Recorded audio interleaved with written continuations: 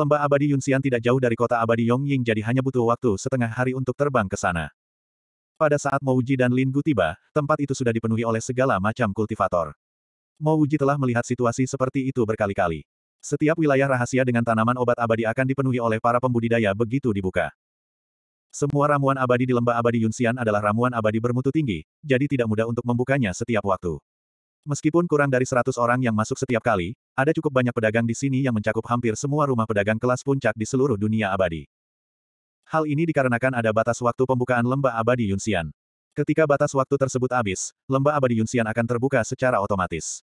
Jika tidak dibuka lebih awal, maka harus dibuka dalam waktu tiga tahun dari waktu pembukaan normal. Pembukaan lebih awal membutuhkan sejumlah besar pembuluh darah spiritual abadi dan kali ini, Kaisar Surgawi dari wilayah abadi Yongying menggunakan lebih dari 10 pembuluh darah spiritual abadi untuk membuka lembah abadi Yunxian. Jelas, Kaisar Surgawi dari wilayah abadi Yongying sangat ingin membuka lembah abadi Yunxian. Ada banyak batasan di luar lembah abadi Yunxian dan para kultivator di luar dapat dengan jelas merasakan bahwa energi spiritual abadi semakin padat. Mo Wuji berada di tiga besar kompetisi alkimia agung dan merupakan tetua kehormatan aliansi abadi Pildao. Saat dia tiba, banyak kultivator maju untuk menyambutnya. Aku yakin ini pastilah Master Pilmo yang masih muda dan menjanjikan. Sebuah suara yang jelas terdengar dan setelah itu, seorang pria elegan berjalan mendekat dengan senyuman di wajahnya. Ini adalah seorang kultivator yang bertubuh ramping dan bermata sipit. Sekalipun lelaki ini anggun, Mouji hanya perlu menatapnya sekali saja untuk merasa tak nyaman di sekujur tubuhnya. Seolah-olah ada banyak ulat yang merayapi seluruh kulitnya dan hal itu membuatnya merasa sangat jijik. Terlebih lagi, tingkat kultivasi orang ini sungguh tak terbayangkan tingginya, dan Mouji bahkan merasa kalau dia jauh lebih tinggi daripada Presiden kedua Aliansi Abadi Daopil cabang tanduk tajam dan Guru Murong Xiangyu.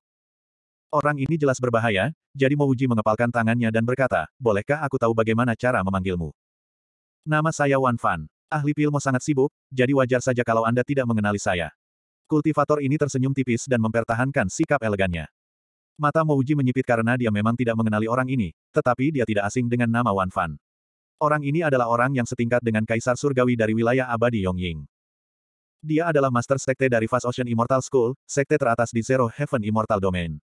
Menjadi kepala sekte sekolah abadi lautan luas bukanlah hal yang berarti. Kuncinya adalah dia memiliki permusuhan besar dengan sekolah abadi lautan luas. Jenius kelas bintang sekolah abadi lautan luas Bai Citian terbunuh olehnya. Begitu pula, Fu Bei dari Sekolah Abadi Lautan Luas juga terluka oleh pedangnya sebelum melarikan diri. Sekarang Wan Fan ada di sini, akan aneh jika sesuatu yang baik terjadi. Tidak heran dia merasa bahwa orang ini berbahaya. Ternyata orang ini ingin membunuhnya. Jadi, Kepala Sekte Wan. Aku sudah lama mendengar namamu. Mo Wuji mengepalkan tinjunya dengan santai. Karena mereka ditakdirkan menjadi musuh, tidak perlu berpura-pura. Wan Fan menatap Mo Wuji sejenak sebelum tersenyum, kudengar ahli Pilmo pergi ke dunia terpecah belum lama ini.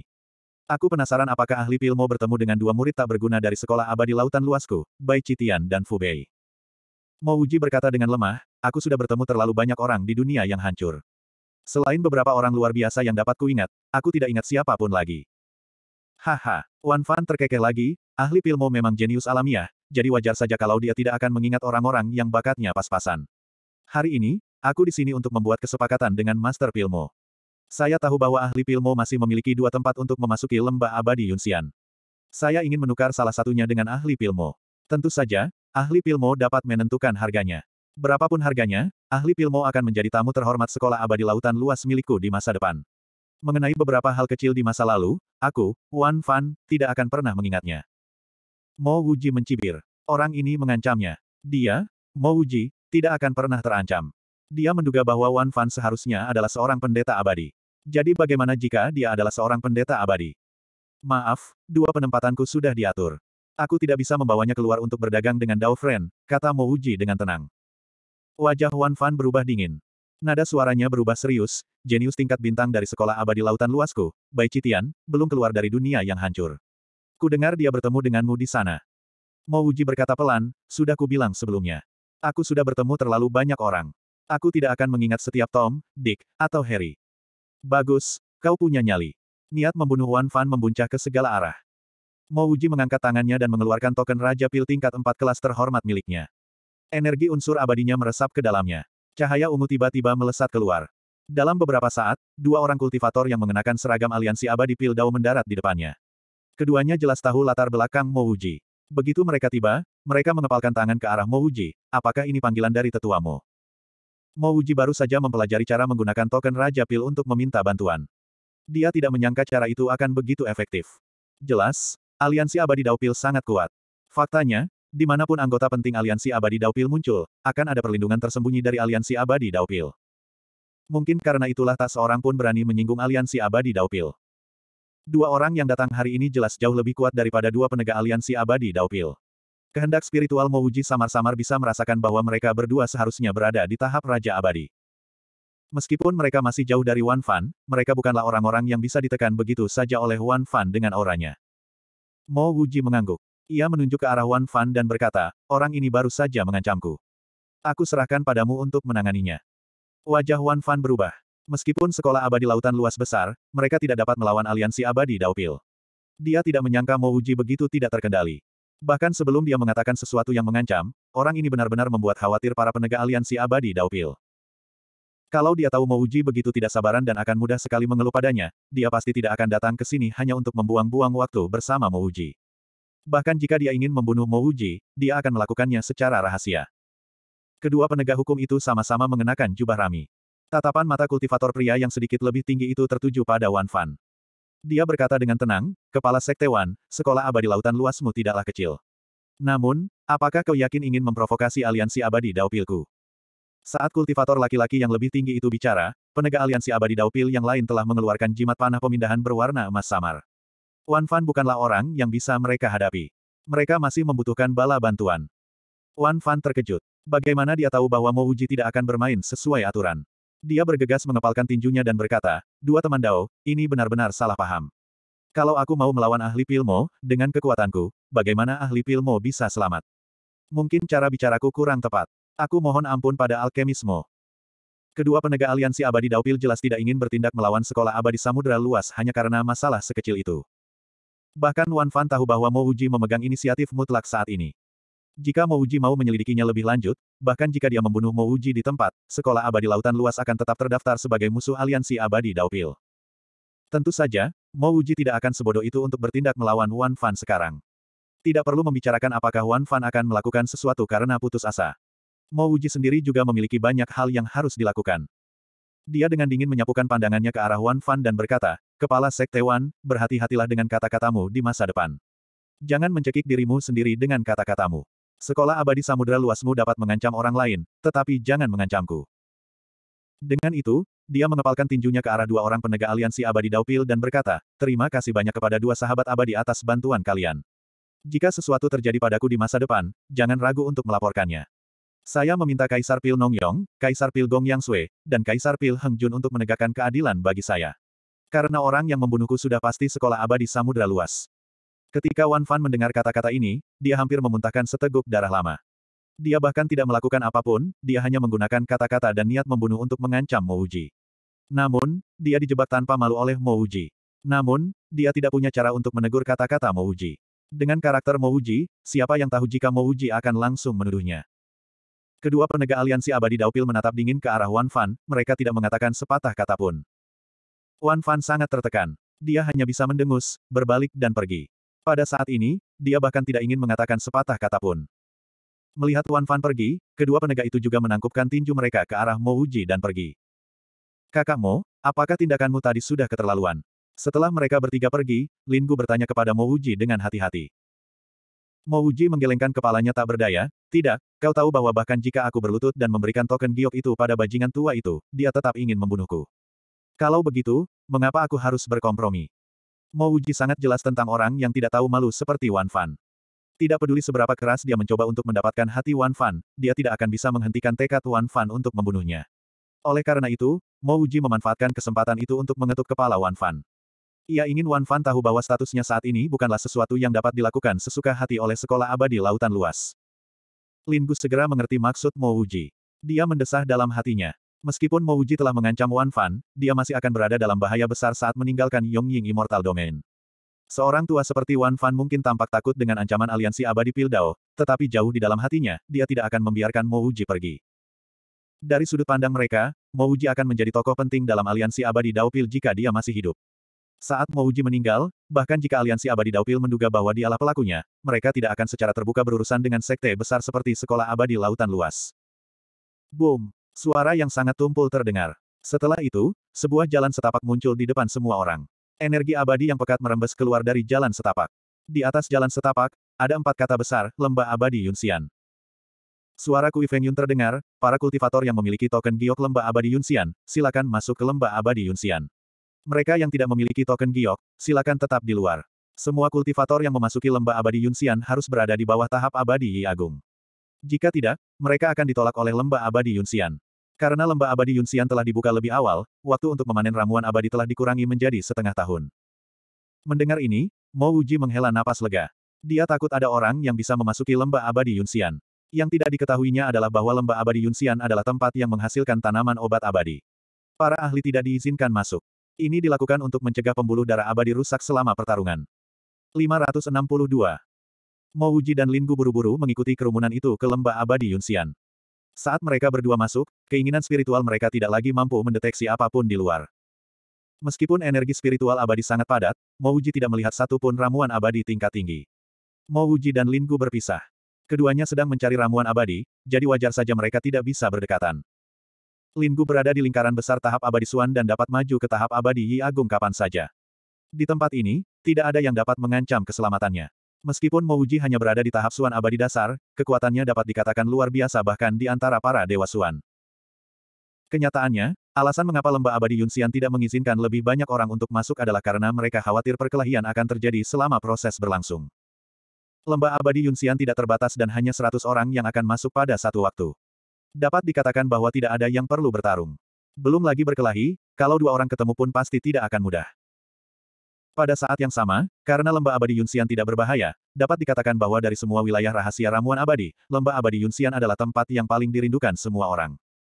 Sepanjang jalan, Mo Wuji mengulurkan kemauan spiritualnya tanpa batasan apa pun. Namun setelah beberapa hari, Mo Wuji mulai mengerutkan kening. Selama beberapa hari terakhir, dia tidak melihat seorang pun. Begitu pula, dia bahkan tidak melihat sehelai pun ramuan abadi tingkat tinggi.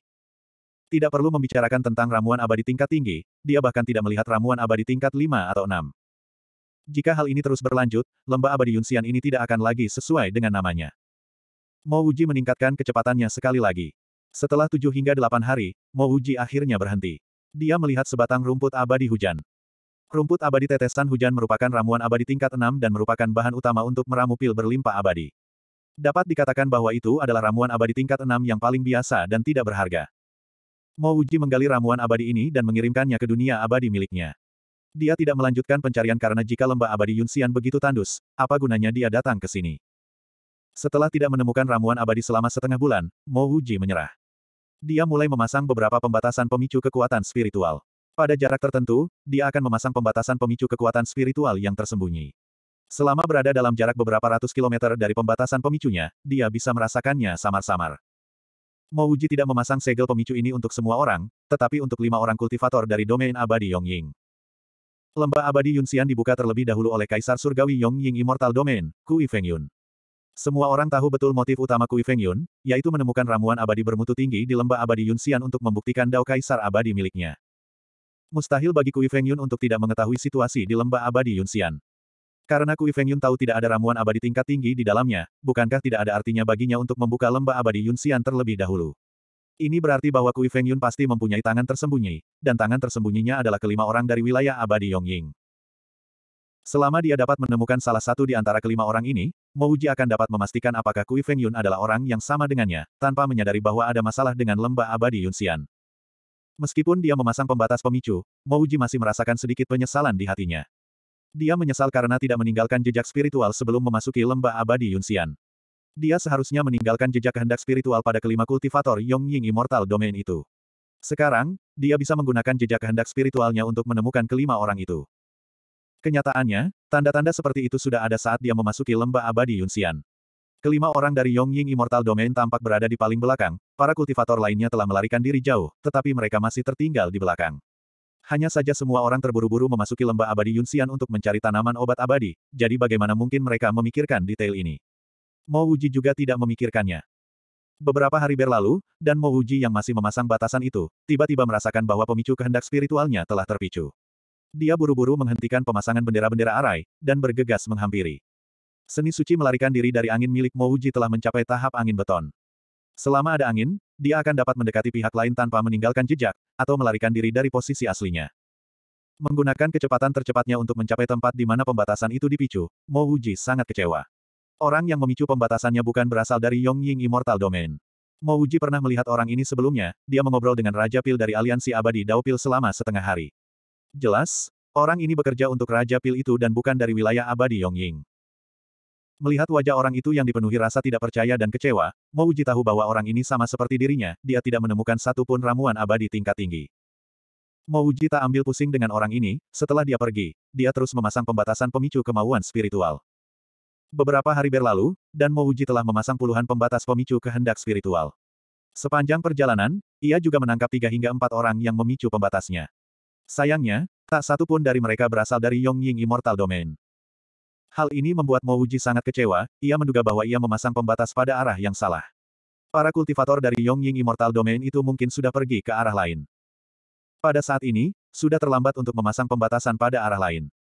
Mo Wuji mendesah, memang benar, manusia berencana, Tuhan yang menentukan. Dia telah memperhitungkan segalanya, tetapi dia tidak menyangka bahwa lembah abadi Yunxian akan kosong. Mungkin dia bukan satu-satunya yang tidak menduganya, para kultivator yang mengincar lembah abadi Yunxian mungkin tidak menyangka bahwa tidak ada apa pun di lembah abadi Yunxian. Tepat saat Mouji tengah berpikir apakah dia harus menyerbu masuk dan melarikan diri selama setengah bulan lagi, pembatasan pemicunya terpicu lagi. Lagi pula, tempat terjadinya pemicu itu sangat dekat dengannya. Mouji mencoba peruntungannya dan berhasil sampai di sana. Kali ini, Mouji melihat kultivator yang memicu batasannya dan langsung bersemangat. Itu adalah seorang pembudidaya wanita muda, dia bertubuh pendek dan kulitnya agak kecoklatan. Namun, Mo Wuji sangat jelas bahwa kultivator wanita ini adalah kultivator dari domain abadi Yongying. Asal dia bisa menemukan seorang kultivator dari Yongying Immortal Domain, segalanya akan mudah. Jika kultivator wanita ini seperti dia, berlarian seperti lalat tanpa kepala, dan tidak dapat menemukan satu pun tanaman herbal abadi, itu berarti memang tidak ada tanaman herbal abadi di lembah abadi Yunxian, dan bahkan Kui Feng Yun pun tidak yakin. Meskipun kultivasi Mouji sedikit lebih lemah dari kultivator wanita ini, kekuatan dan pengalamannya jauh melampauinya. Terlebih lagi, dia mahir dalam seni suci pelarian angin, dan kultivator wanita ini bahkan tidak menyadarinya saat dia bersembunyi di sampingnya. Kultivator perempuan ini tidak bertahan lama di tempat yang sama, dia hanya berhenti sebentar sebelum melarikan diri lagi. Mo Wuji mengikutinya dari dekat. Setelah beberapa saat, Mo Wuji dapat melihat ada sesuatu yang berbeda. Kultivator wanita ini berbeda dari kultivator lain yang memicu pembatasan kehendak spiritualnya, kultivator wanita ini tidak peduli jika ada tanaman herbal abadi di sekitarnya. Dia sesekali akan mengeluarkan bola pemosisian, memeriksa sekelilingnya, dan kemudian mengubah posisinya. Mengenai bola posisi itu, Mo Wuji tidak berani menggunakan kemauan spiritualnya untuk memeriksanya secara langsung, tetapi dia tahu bahwa pasti ada sesuatu yang salah dengan bola itu. Beberapa hari berlalu, dan kultivator wanita ini berhenti. Setelah memeriksa bola posisinya beberapa saat, dia mulai memeriksa sekelilingnya berulang kali. Mo Wuji juga bersembunyi di samping, dan menggunakan kemauan spiritualnya untuk memeriksa medan sekitar. Awalnya, Mo Wuji merasa bahwa tempat ini tidak berbeda dengan tempat lainnya, hanya saja merupakan hutan belantara dengan energi spiritual abadi yang sedikit lebih padat. Energi spiritual abadi yang padat terlalu normal, selama seseorang berada di lembah abadi Yunxian, tidak akan ada tempat yang tidak memiliki energi spiritual abadi yang padat. Lebih dari satu jam kemudian, Mo Wuji merasa ada sesuatu yang aneh, tempat ini jelas merupakan batasan penyembunyian, dan itu adalah hal yang alami. Dia telah melihat terlalu banyak batasan penyembunyian alami, misalnya, tempat Jing Lengbei bersembunyi di benua yang hilang.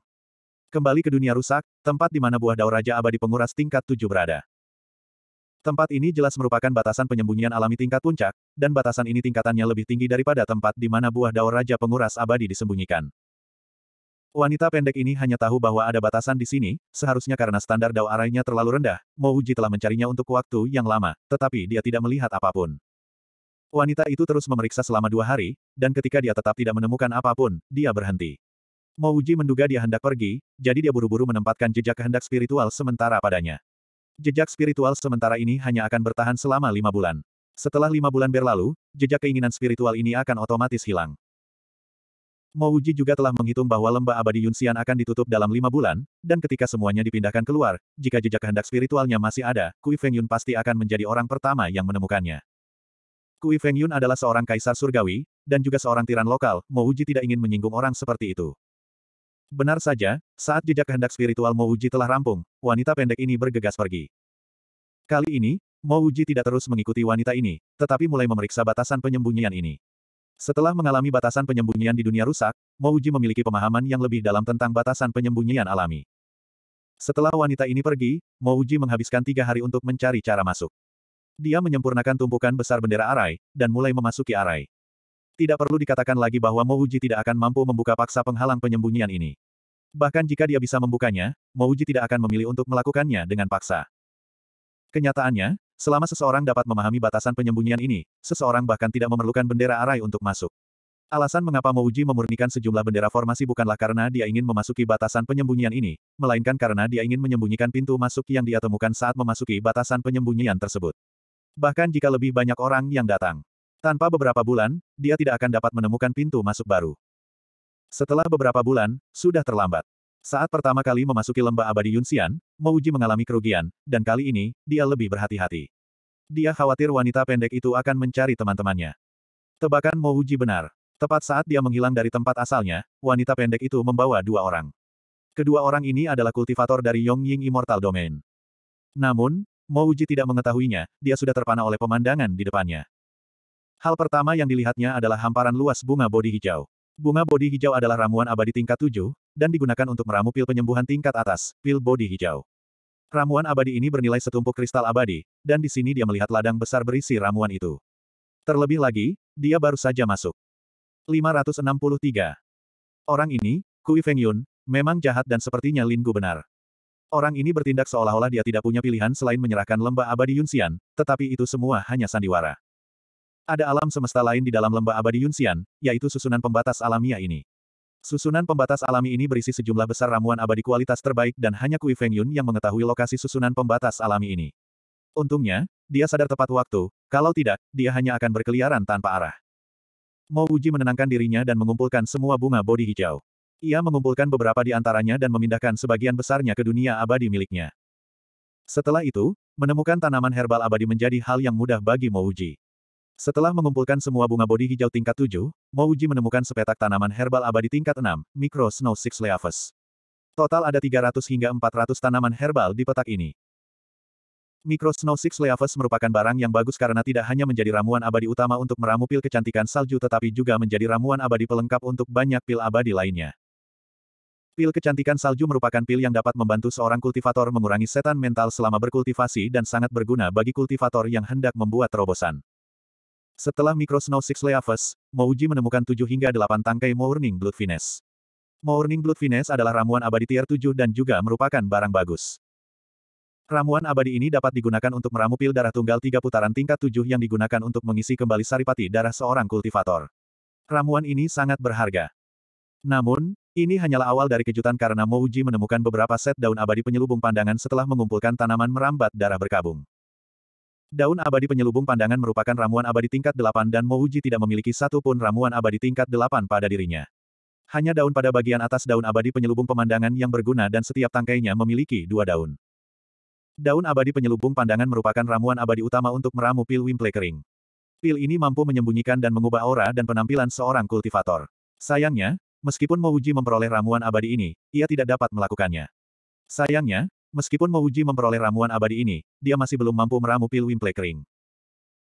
Setelah menyimpan daun abadi penyelubung penglihatan, Mouji menemukan beberapa tangkai buah tak berdaun seratus saluran yang juga merupakan ramuan abadi tingkat delapan yang dapat digunakan untuk meramu pil nirwana saluran abadi. Bagi para kultivator di bawah tahap Immortal Referen, pil nirvana saluran abadi setara dengan kehidupan ekstra. Meskipun Mouji tidak mampu meramu pil ini, dia tetap sangat bersemangat. Dia datang ke sini demi bunga hati dunia bawah dan mengingat begitu banyak ramuan abadi tingkat tinggi yang berharga di sini, peluangnya untuk mendapatkan bunga hati dunia bawah akan meningkat pesat. Setelah memperoleh daun abadi penyamar mata, Mouji akhirnya menyaksikan kekuatan lembah abadi Yunxian. Tidak mengherankan jika banyak kultivator mendambakan tempat ini.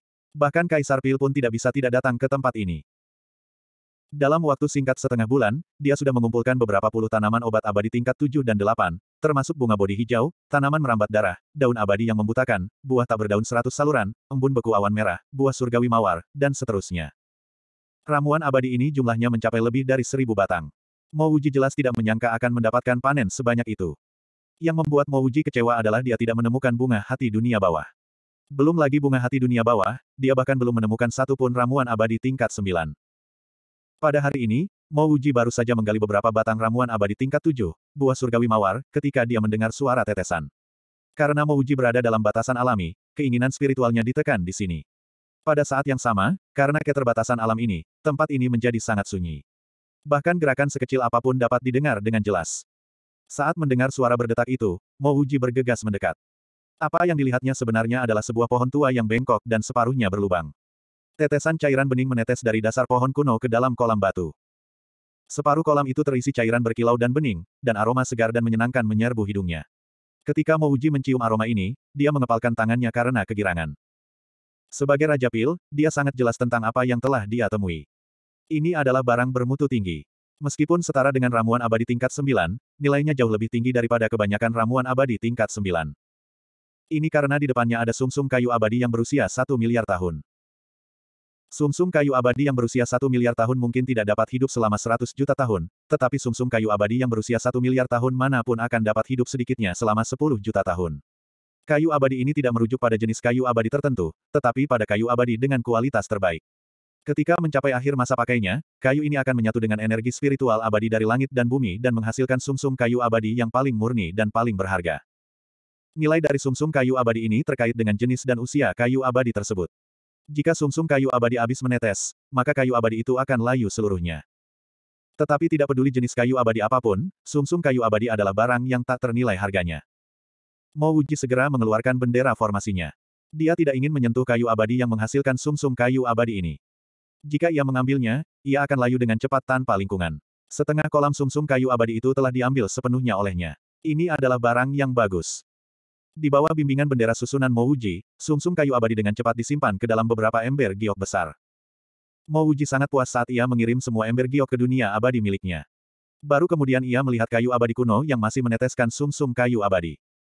Setelah bertahun-tahun yang tak terhitung jumlahnya, ini akan menjadi kumpulan sumsum kayu abadi lainnya.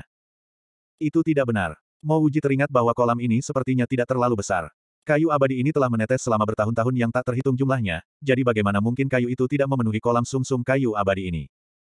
Saat memikirkan hal ini, keinginan spiritual Mo Wuji dengan cepat menyapu keluar.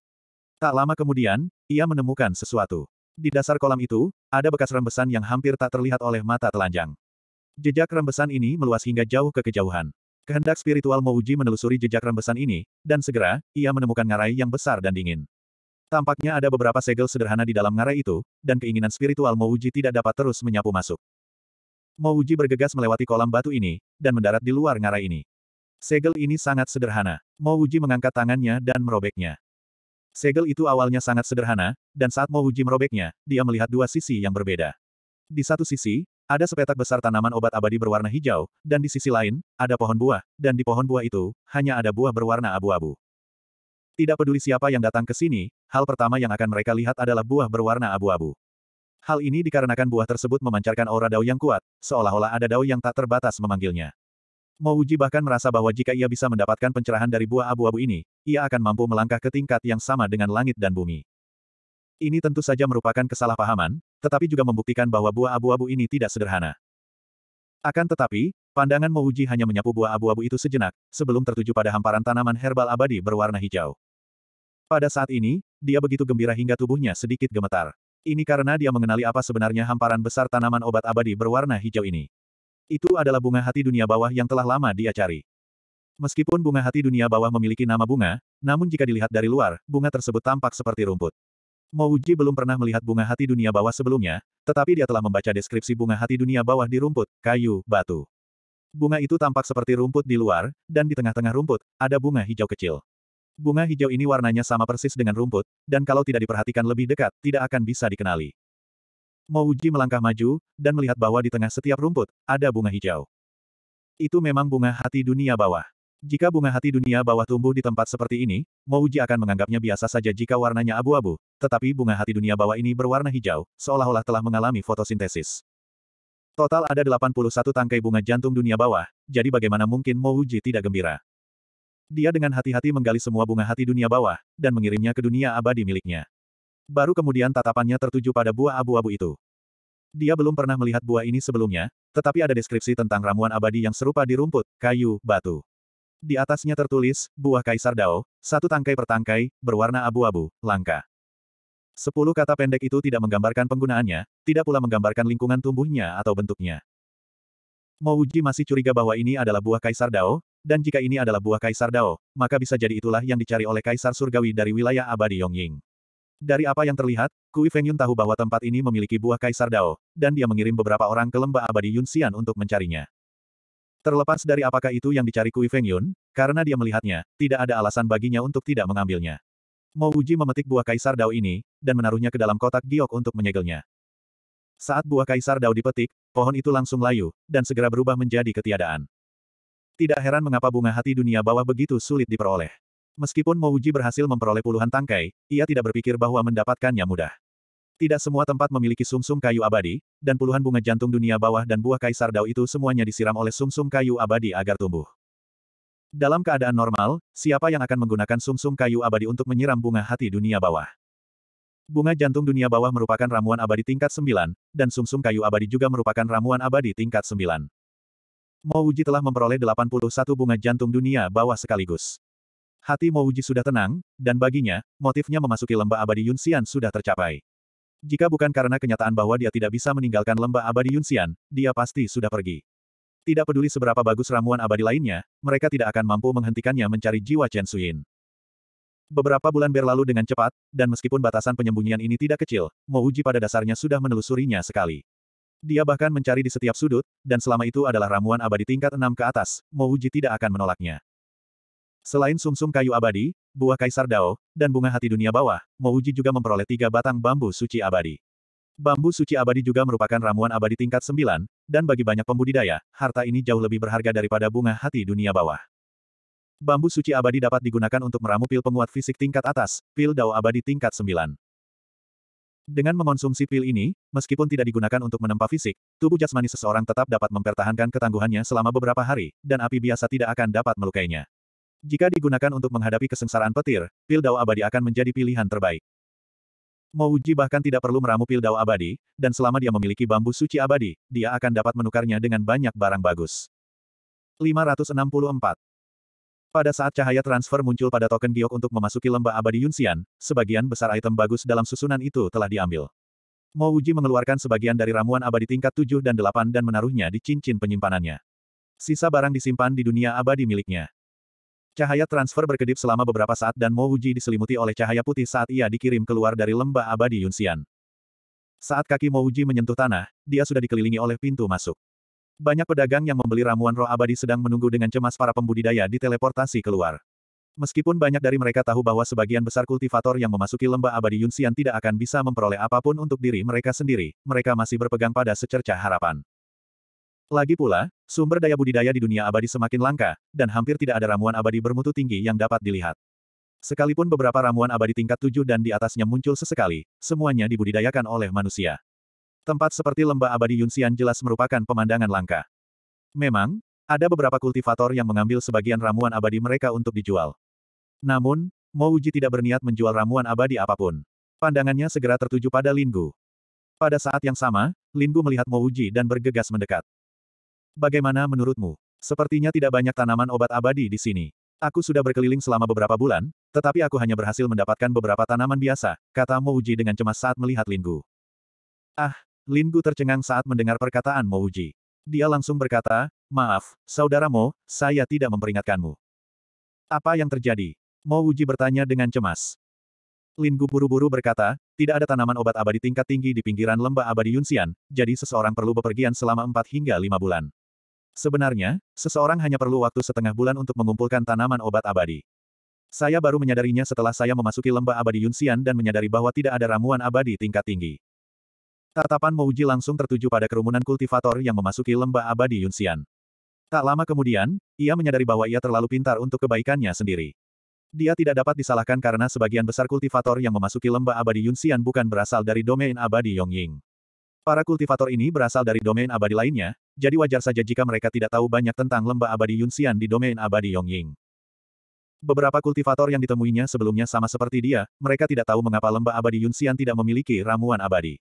Kemudian, beberapa pembudidaya itu pasti memikirkan hal ini dan melarikan diri dengan panik untuk menemukan daerah sebenarnya yang terdapat tanaman herbal abadi.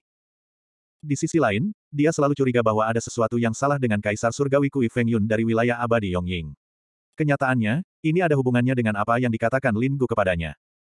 Jika dia tidak curiga pada Kui Feng Yun, dia akan segera melarikan diri seperti para kultivator lainnya. Siapa pun yang lebih cepat akan dapat menemukan wilayah yang belum dijelajahi di lembah abadi Yunxian. Itu juga karena kecurigaannya sehingga dia berhasil menemukan lokasi batasan alami berdasarkan beberapa kultivator dari Yongying Immortal Domain. Pada akhirnya, dia tidak hanya mendapatkan apa yang diinginkannya, tetapi dia juga mendapatkan apa yang diinginkannya. Dia bahkan merampas buah kaisar dao milik Kui Feng Yun dan setumpuk besar ramuan abadi tingkat tinggi. Lalu bagaimana hasil panenmu? Mo Wuji bertanya dengan cemas. Ekspresi minta maaf muncul di mata Lin Gu saat dia berkata dengan suara rendah, hasil yang aku peroleh tidak buruk, tetapi aku tidak mendapatkan apa yang kamu inginkan. Sungguh. Melihat kerumunan pemurni pil dan pedagang yang sedang berbincang, Mo Wuji tahu bahwa ini bukanlah tempat yang baik untuk berbicara. Dia buru-buru menyampaikan pesan, mari kita tinggalkan wilayah abadi Yongying sekarang. Apakah kalian punya cara untuk menyelinap pergi? Jika tidak, saya siap membeli beberapa masker. Lin Gu segera mengirimkan pesan kepada Mo Wuji, tidak perlu, kita tidak perlu menggunakan susunan transfer ini untuk pergi. Tempat ini sudah berada di luar kota abadi Yongying. Selama kita memasuki kekosongan di luar wilayah abadi Yongying, aku akan dapat mengaktifkan jimat pemindahan spasial. Kelas berapa? Mo Wuji bertanya dengan cemas. Dia tidak bisa menahan rasa cemasnya. Setelah mendengar kata-kata Lin Gu, dia tahu bahwa dia mungkin telah mencuri barang-barang Kui Feng Yun. Begitu Kui Feng Yun mengetahui hal ini, bagaimana dia bisa melarikan diri? Mudah bagi Kui Feng Yun untuk mengetahuinya. Selama dia menemukan kelima orang itu, dia akan dapat menemukan lingkungan aslinya. Jimat pemindahan spasial tingkat 8.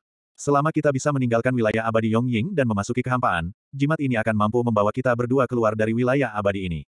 Bahkan seorang kaisar abadi mungkin tidak dapat menemukannya, kata Lin Gu dengan percaya diri. Mo Wuji langsung berkata, apa yang membuatmu ragu? Ayo kita pergi ke Six Pates Immortal Domain dan temui ibumu di sektemu dulu. Berapa banyak hal yang dialami Mo Wuji. Terlebih lagi, dia adalah seseorang yang pernah bereinkarnasi sekali. Bagaimana mungkin dia tidak tahu bahwa semakin cepat dia pergi, semakin aman dia nantinya. Lin Gu tidak bertanya apa-apa. Dia meninggalkan kerumunan bersama Mo Wuji. Tak lama kemudian, mereka mengeluarkan kapal terbang mereka dan menyerbu keluar dari kota abadi Yongying. Saat mereka meninggalkan kota abadi Yongying, Mo Wuji melemparkan beberapa bendera arai dan memasang arai pemicu kehendak spiritual hampa. Setelah itu, ia mengeluarkan pesawat ulang-alik terbangnya sendiri. Meskipun kapal terbang Linggu tidak buruk, namun tidak dapat dibandingkan dengannya. Kapal terbangnya dihadiahkan kepadanya oleh Kaisar Pil Nong Yong dari Aliansi Abadi Dao Pil. Alasan mengapa Mouji memiliki kesan yang baik terhadap Nong Yong bukan hanya karena Nong Yong memberinya status tetua kehormatan dari Aliansi Abadi Dao Pil. Yang lebih penting, Nong Yong memberinya peralatan terbang abadi kelas 7. Ini adalah pesawat ulang-alik kelas 7. Linggu bukanlah orang yang bodoh. Saat Mouji mengeluarkan pesawat ulang-aliknya, dia bertanya dengan heran. Mouji mengangguk, ya, ini adalah pesawat ulang-alik terbang kelas 7. Pesawat ini diberikan kepadaku oleh seorang senior dari Aliansi Abadi Daupil. Linggu menghela napas, senior ini benar-benar murah hati. Bahkan di sekolah abadi bulan iblis kami, pesawat ulang-alik terbang kelas 7 ini bukanlah sesuatu yang bisa didapatkan oleh orang biasa. Jelas, senior ini khawatir kalau kultivasimu terlalu rendah, jadi dia ingin memastikan agar kamu tidak mati. Ketika Mo Wuji mendengar ini, dia tiba-tiba tersadar. Sebelumnya, dia mengira Nong Yong memberinya pesawat ulang-alik terbang ini karena Nong Yong menghargai bakat. Itulah sebabnya dia meminta ini dari aliansi abadi Daupil. Kini setelah dia mendengar perkataan Lin Gu, dia sadar bahwa pesawat ulang-alik terbang ini mungkin bukan hadiah dari aliansi abadi Pildao. Tak peduli seberapa kayanya aliansi abadi Pildao, mereka tidak akan bisa begitu saja memberikan hadiah berupa pesawat ulang-alik terbang kelas 7. Kali berikutnya dia bertemu Nong Yong, dia pasti harus mengucapkan terima kasih kepadanya secara pribadi. Tepat saat Mo Wuji hendak berganti ke pesawat ulang-aliknya, dia merasakan segel kehendak spiritual hampa miliknya terpicu. Ekspresinya sedikit jelek saat dia berkata, seseorang mengejar kita. Selain itu, kualitas harta karun terbang mereka tidak rendah. Sebelum memasuki lembah abadi Yunxian, Mo Wuji khawatir tentang pengejaran Wan Fan. Sekarang, yang paling ia khawatirkan adalah Kaisar Surgawi Kui Feng Yun dari wilayah abadi Yongying. Haruskah kita kembali? Lin Gu mulai khawatir. Mereka berdua benar-benar terlalu lemah. Mo Wuji menggelengkan kepalanya, tidak ada gunanya. Kembali sekarang sama saja dengan mencari kematian. Biarkan aku memikirkan cara untuk memasuki kehampaan itu secepatnya. Aku punya ide. Ada alun-alun kota terbuka yang disebut Rock Immortal City Square beberapa juta mil jauhnya dari sini. Alun-alun kota terbuka ini memiliki susunan transfer pasar gelap.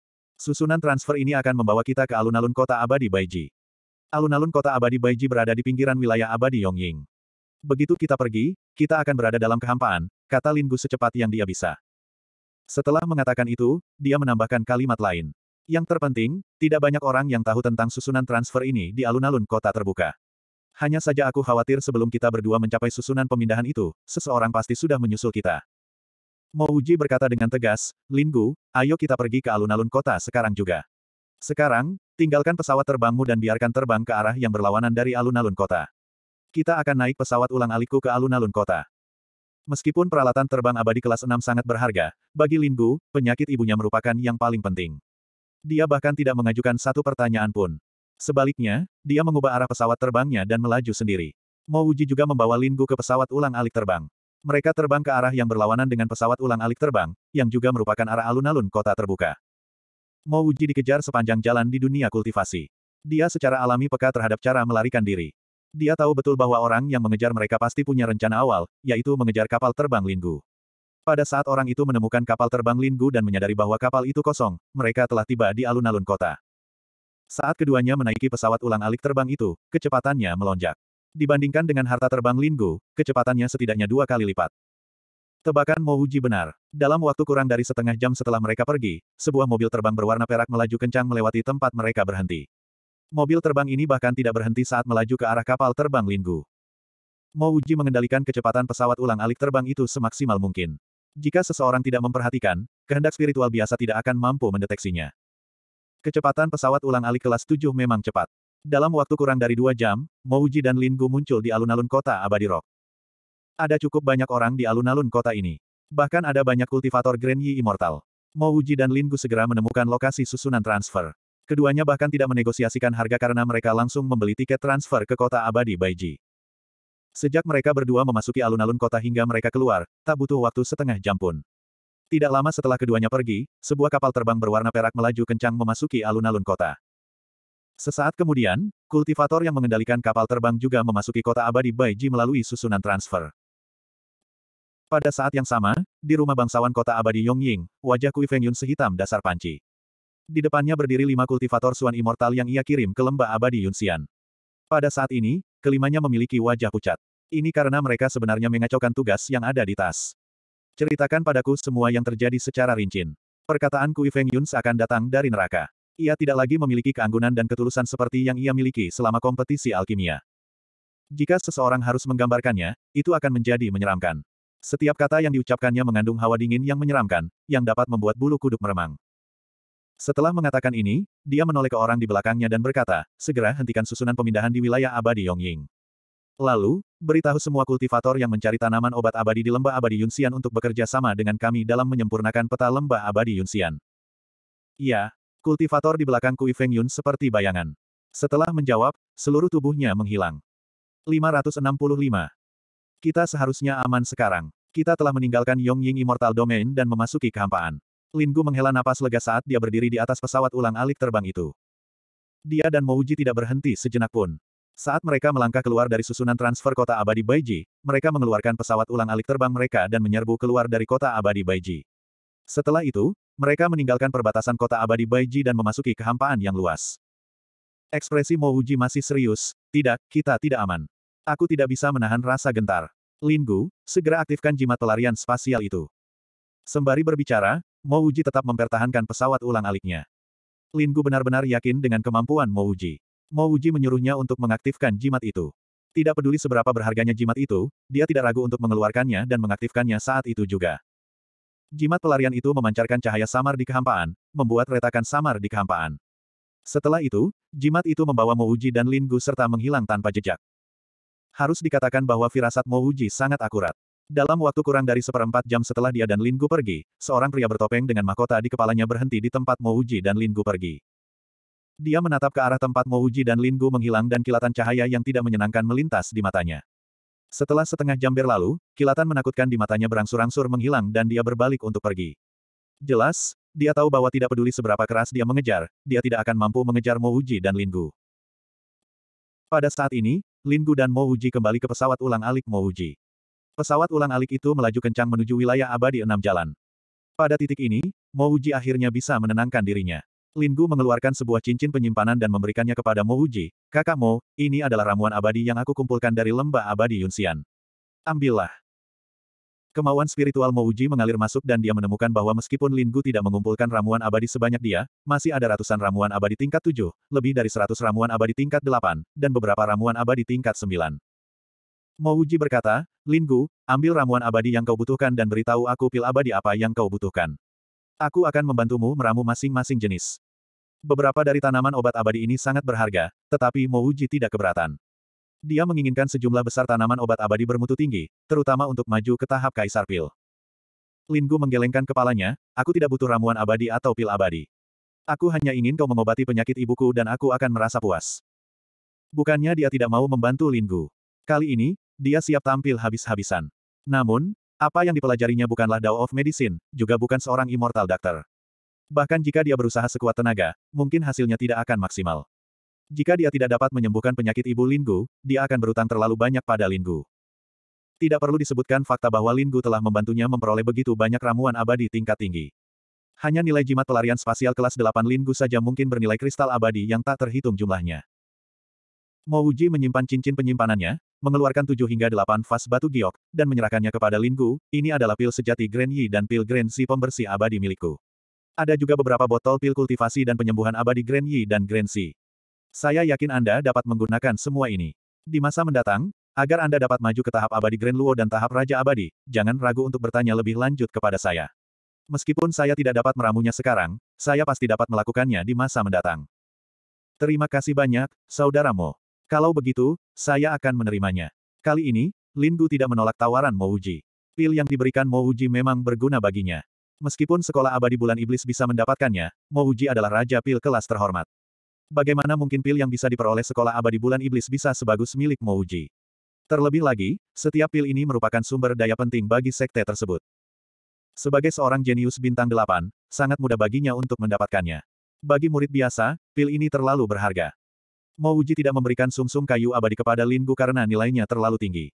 Dia yakin Linggu tidak akan menginginkan sumsum -sum kayu abadi miliknya. Namun, sulit untuk mengatakannya kepada orang lain di sekolah abadi bulan iblis.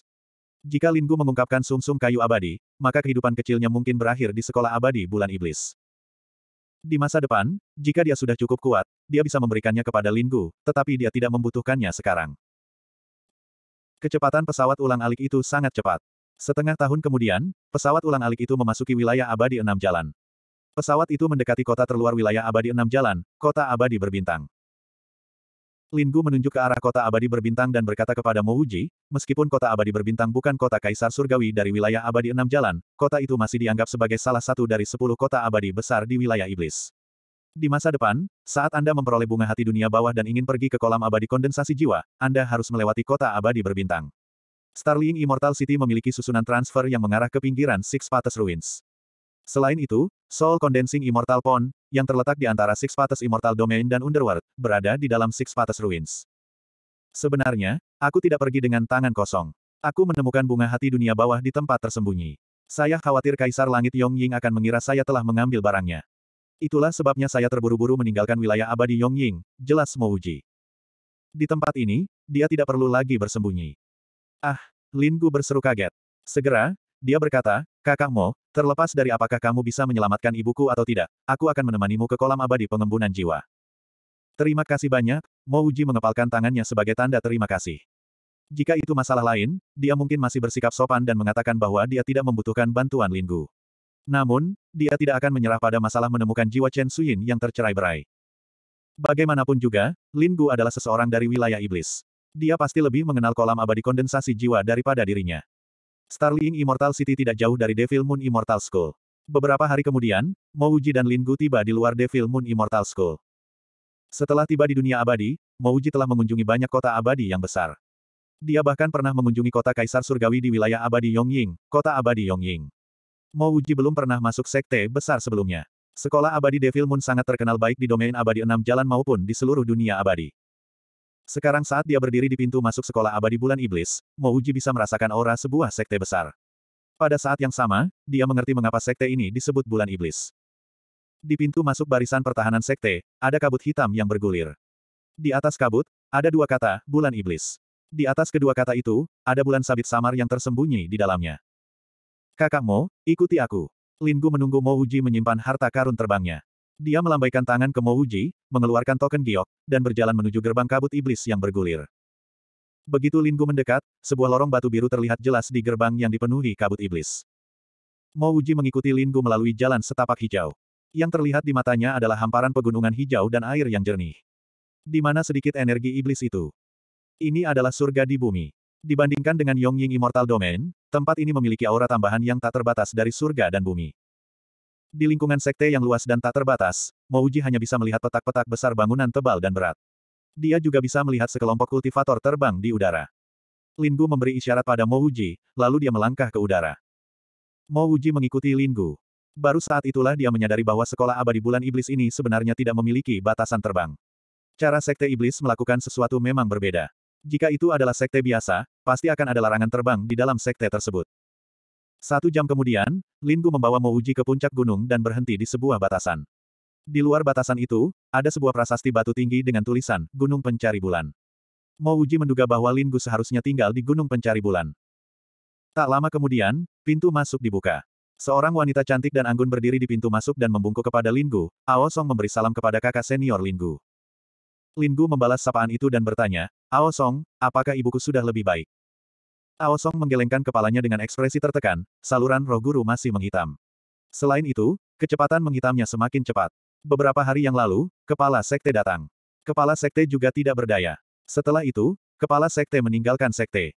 Dia berkata bahwa dia akan pergi ke aliansi abadi Daupil untuk mengundang Kaisar Pil untuk melihatnya. Setelah Aosong selesai berbicara, dia menundukkan kepalanya dengan sedih. Mo Wuji tidak mengatakan apa-apa. Ketika dia mendengar tentang menghitamnya saluran roh, jantungnya berdebar kencang. Dia memiliki saluran penyimpanan roh. Saluran penyimpanan roh dapat memperbaiki meridiannya dengan sempurna. Saluran itu juga seharusnya dapat memperbaiki saluran rohnya. Di sisi lain, Ao Song ini sebenarnya adalah murid Ibu Linggu.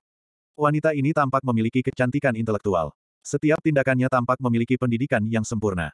Yang lebih mengejutkan Mo Wuji adalah bahwa kultivasi Ao Song ini ternyata berada pada tahap Grand Yi Immortal. Kultivasinya sedikit lebih tinggi dari Linggu. Meskipun kultivasinya lebih tinggi dari Linggu, dia masih memanggil Linggu dengan sebutan kakak senior. Dari sudut pandang Mo Wuji, Linggu seharusnya menekan kultivasinya agar dapat memasuki dunia rusak. Karena itu, ia dikalahkan oleh Ao Song. Apakah tuanku sudah keluar dari pintunya yang tertutup? Linggu bertanya sambil bergegas masuk. Ao Song menghela napas, tidak. Setelah paman senior Gu masuk ke dalam pintu tertutup, dia tidak pernah keluar lagi. Linggu bergegas masuk. Dia bahkan tidak memperkenalkan Mo Wuji. Meski begitu, Ao Song masih membungkuk sedikit ke arah Mo Wuji. Kemudian, dia melangkah mundur. Bangunan-bangunan di Gunung Pencari Bulan pada awalnya sangat sederhana. Hanya ada tujuh hingga delapan bangunan yang saling terhubung. Mo Wuji mengikuti Lin Gu menyusuri jalan batu yang berkelok-kelok. Setelah beberapa belokan, mereka memasuki sebuah rumah yang sangat indah. Di luar rumah, ada berbagai macam bunga dan rumput. Tidak hanya energi spiritual abadi di tempat ini yang sangat padat, aroma bunga dan tanaman abadi juga sangat menyegarkan. Bagian dalam rumah juga sangat bersih. Di bagian tengah rumah, terdapat tempat tidur yang terbuat dari kayu dupa abadi. Di bagian luar tempat tidur, terdapat kain sutra yang sangat halus yang tergantung. Seorang wanita dengan kulit pucat sedang berbaring di tempat tidur. Selain kulitnya yang pucat, penampilannya bahkan lebih cantik daripada Linggu. Bahkan ada pesona spiritualitas yang tak terlukiskan di sekelilingnya. Ibu, melihat wanita cantik berwajah pucat ini, Linggu melangkah ke sisi tempat tidur. Dia berlutut di lantai sambil menangis terseduh-seduh. Wajah Aosong juga tampak suram saat dia berdiri di samping. Namun, Mo Wuji tahu bahwa saat Lin Gu tidak ada, Ao Song merawat ibu Lin Gu dengan baik. Lin Gu, kamu kembali. Wanita di ranjang kayu dupa abadi itu memaksa matanya untuk terbuka. Dia tersenyum dan berbicara dengan agak susah payah. Iya, ibu. Aku kembali. Aku telah mengundang seorang ahli pemurnian pil yang sangat hebat. Aku yakin dia punya cara untuk menyelamatkanmu. Lin Gu menunjuk ke arah Mo Wuji sambil berbicara. Tatapan Mo Wuji tidak mengikutinya. Sebaliknya, tatapannya jatuh pada sisi ranjang kayu dupa abadi. 566. Ibu Linggu tampaknya tidak mempermasalahkan kurangnya sopan santun Mo Wuji, dan juga tidak mempermasalahkan bahwa Mo Wuji masih terlalu muda. Ia hanya tersenyum dan berkata, aku telah merepotkanmu untuk menempuh perjalanan jauh demi datang ke sini bersama Linggu. Aku benar-benar minta maaf. Mo Wuji kembali tenang, bergegas mengepalkan tinjunya dan berkata, senior terlalu serius. Linggu telah banyak membantuku. Aku hanya khawatir aku tidak cukup kuat untuk mengobati penyakit senior. Ibu Linggu tersenyum tenang, tidak apa-apa. Bahkan jika seseorang berkultivasi hingga ke tahap kaisar abadi, hidup dan matinya bukanlah sesuatu yang dapat dikendalikan. Lagi pula, aku masih jauh dari tahap kaisar abadi. Mo Wuji mengangguk, lalu berkata kepada Lin Gu, Lin Gu, silakan pergi sebentar. Aku ingin memeriksa penyakit bibi sendirian. Lin Gu berdiri, matanya agak merah. Di sisi lain, Ao Song sedikit mengernyit, lalu berkata lembut, Dokter abadi ini, bukannya Lin Gu dan aku tidak percaya padamu, tapi kenapa kami harus pergi untuk berkonsultasi? Guru sudah seperti ibu bagi saya. Lin Gu dan saya tidak akan mengganggu konsultasi Anda. Meskipun kata-kata Ao Song lembut, Mo Uji dapat mendengar makna di balik kata-katanya. Dia dan Lin Gu tidak perlu pergi, tetapi dia khawatir bahwa dia, seorang pria, akan memperlakukan ibu Lin Gu sendirian. Lin Gu buru-buru berkata, adik Ao Song, kakak Mo adalah orang yang jujur. Kita tunggu di luar saja.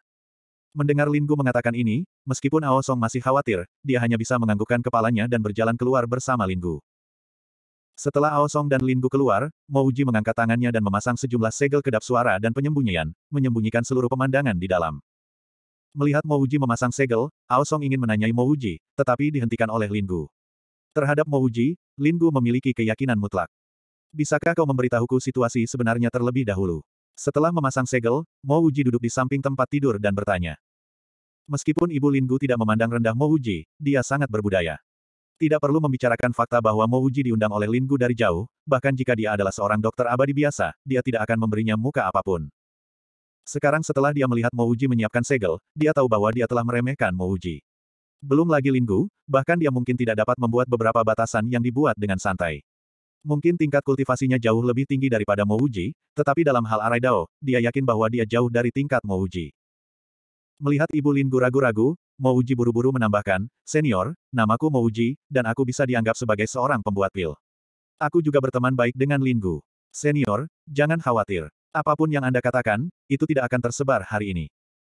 Ibu Lin Gu berusaha menggerakkan tubuhnya sebagai tanda penghormatan. Ia kemudian berkata dengan lemah, Ahli Pilmo, alasan mengapa Lin Gu mengundangmu ke sini pasti karena kemampuanmu. Lin Gu adalah putri saya. Meskipun dia telah berkultivasi dengan guru selama beberapa tahun terakhir, saya sangat mengenal kepribadiannya. Dia tidak akan mudah mempercayai seseorang. Aku hanya lebih tua beberapa tahun darimu, jadi aku tidak bisa dianggap senior. Nama keluargaku adalah Sigulan. Jika Anda menghormati saya, Anda dapat memanggil saya Bibilan. Kami, para penggarap abadi, berjalan menantang surga, jadi kami tidak perlu terlalu memperhatikan detail. Baiklah, Bibilan. Mau Uji mengangguk, dia tidak keberatan. Dia dan Kaisar Pil adalah saudara Dao, jadi tentu saja dia tidak akan memasukkan masalah sekecil itu ke dalam hati. Sigulan menampakkan ekspresi puas, lalu berkata, tahun itu, aku baru saja melahirkan Linggu, jadi aku pergi sendiri untuk mencari sumsum -sum kayu abadi. Pada akhirnya, kupikir racun jiwa Tarsal telah menyerang tubuhku. Meskipun aku segera bergegas kembali, aku masih terlambat selangkah. Setelah beberapa waktu, lautan kesadaranku mulai mengeras, tulang-tulangku menghitam, dan saluran spiritualku mulai terkikis. Sekte itu sudah menghabiskan banyak tenaga, bahkan Master Gu dari Linggu juga menghabiskan banyak waktu dan tenaga, tetapi mereka tetap tidak bisa menyembuhkanku. Senior diracun. Mo Wuji berpikir dalam hati. Jika dia benar-benar diracun, maka segalanya akan jauh lebih mudah. Racun apa yang tidak bisa disembuhkannya? Hanya saja nada bicara Sigulan sepertinya tidak menunjukkan bahwa dia diracuni. Mengenai racun dunia bawah jiwa Tarsal yang disebutkan Sigulan, Mo Wuji juga mengetahuinya dengan jelas. Racun ini tidak berwarna dan tidak berbau, sangat sulit dideteksi. Saat seseorang diracuni oleh racun ini, lautan kesadaran mereka akan berangsur-angsur menyusut, tulang-tulang mereka akan menghitam, saluran spiritual mereka akan terkikis, dan kultivasi mereka akan melemah. Akhirnya, mereka akan berubah menjadi orang biasa tanpa kultivasi apa pun, dan kemudian mereka akan mati. Sigulan berkata bahwa setelah melahirkan Linggu, dia akan mencari sumsum -sum kayu abadi. Jelas, dia ingin mengubah bakat Linggu. Sumsum -sum kayu abadi memiliki kegunaan penting lainnya, yaitu untuk memandikan bayi yang baru lahir. Sumsum -sum ini dapat membuat bakat mereka menjadi luar biasa. Linggu adalah seorang jenius bintang delapan, dan kulitnya sehalus krim. Kemungkinan besar dia telah dibersihkan oleh sumsum -sum kayu abadi. Mendengar perkataan Mouji, si Gulan menggelengkan kepalanya, awalnya, ketua sekte, guru Linggu, dan aku semua mengira aku diracuni. Namun, seorang dokter abadi yang sangat terkenal datang ke sekolah abadi bulan iblis. Dokter abadi itu melihatku dan berkata bahwa aku tidak diracuni oleh racun jiwa tarsal, tetapi sakit. Lalu, dia bilang dia sakit apa? Mau uji buru-buru bertanya. Sigulan menghela napas, dia bahkan tidak sempat mengatakan apa pun sebelum sesuatu terjadi. Saat itu, selir kesayangan Kaisar Abadi Lunkai dari domain abadi dewa sedang sakit parah. Oleh karena itu, Kaisar Abadi Lunkai dengan paksa memanggil para tabib abadi puncak dan tukang pil dari beberapa domain abadi untuk merawat selir kesayangannya. Namun, setelah perjalanan itu, tidak ada berita tentang dokter abadi itu lagi. Mouji berpikir dalam hatinya, Kaisar Abadi Lunkai ini sungguh sombong. Dokter abadi itu sedang merawat Sigulan. Mengingat status Sigulan, dia benar-benar memanggilnya begitu saja. Tidak ada kabar tentangnya selama bertahun-tahun. Kemungkinan besar dia sudah meninggal. Sigulan bisa melihat keraguan Mo Wuji, dan berkata, dokter abadi itu bernama Cheng Qianhe, dan dia adalah salah satu dari sembilan dokter abadi agung di tujuh wilayah abadi.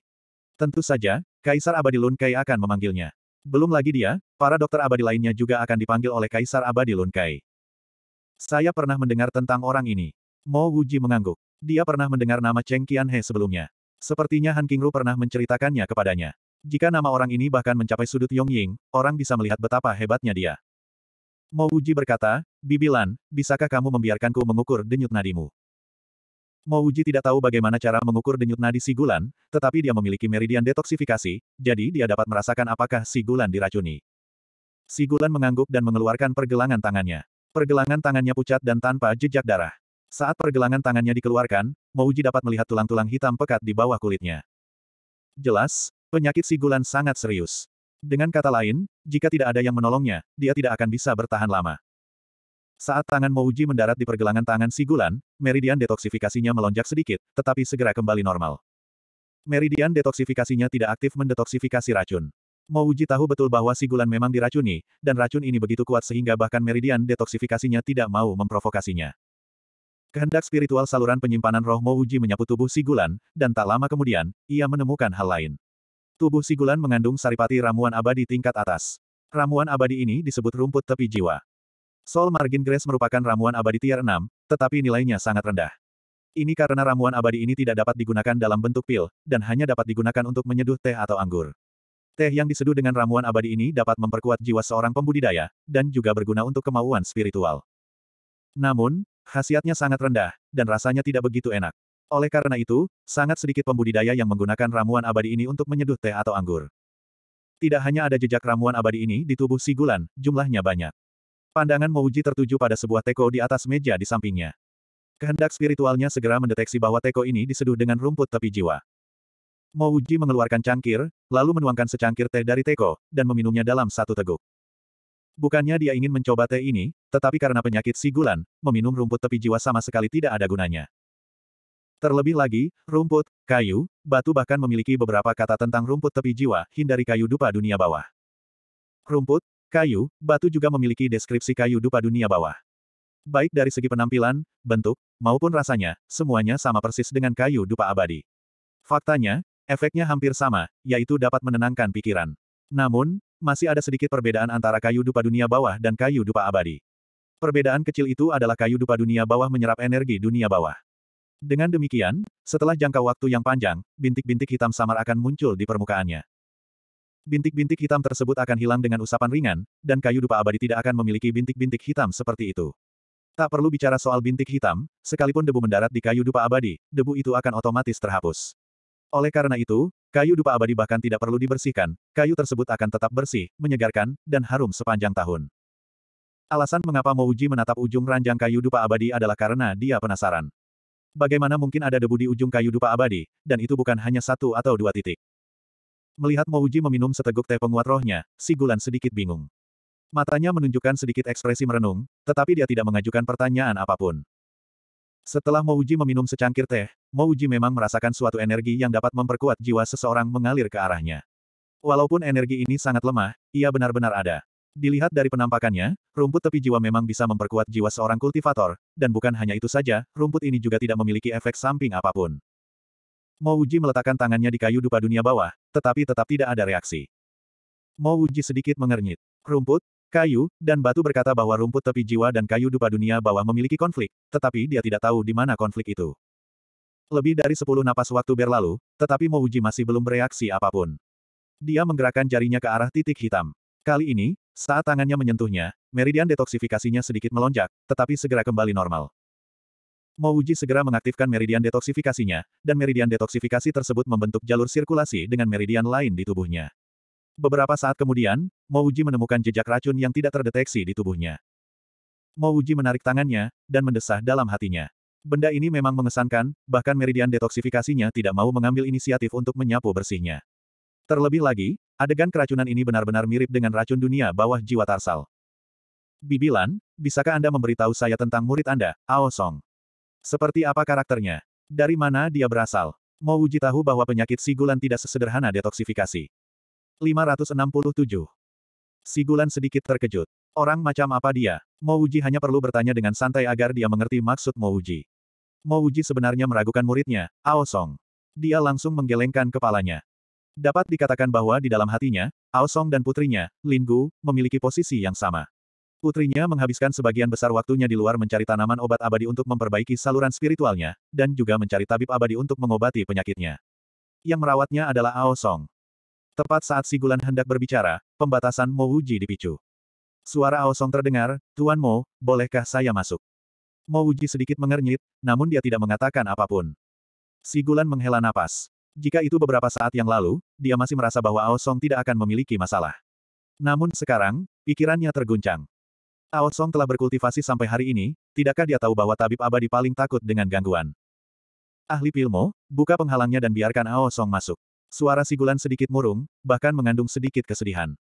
Mo Wuji membuka pembatas, dan Ao Song segera melangkah masuk ke dalam ruangan.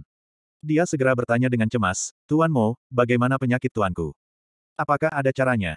Suaranya masih lembut, tetapi mengandung sedikit kekhawatiran dan kecemasan.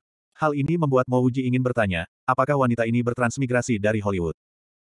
Mo Wuji menghela napas dan berkata, awalnya, aku masih punya beberapa petunjuk.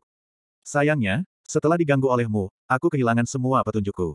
Katakan padaku, kau ingin aku mengobati penyakit tuanmu atau tidak? Jika kamu tidak menginginkanku, aku akan segera pergi. Aku tidak akan tinggal di sini lagi.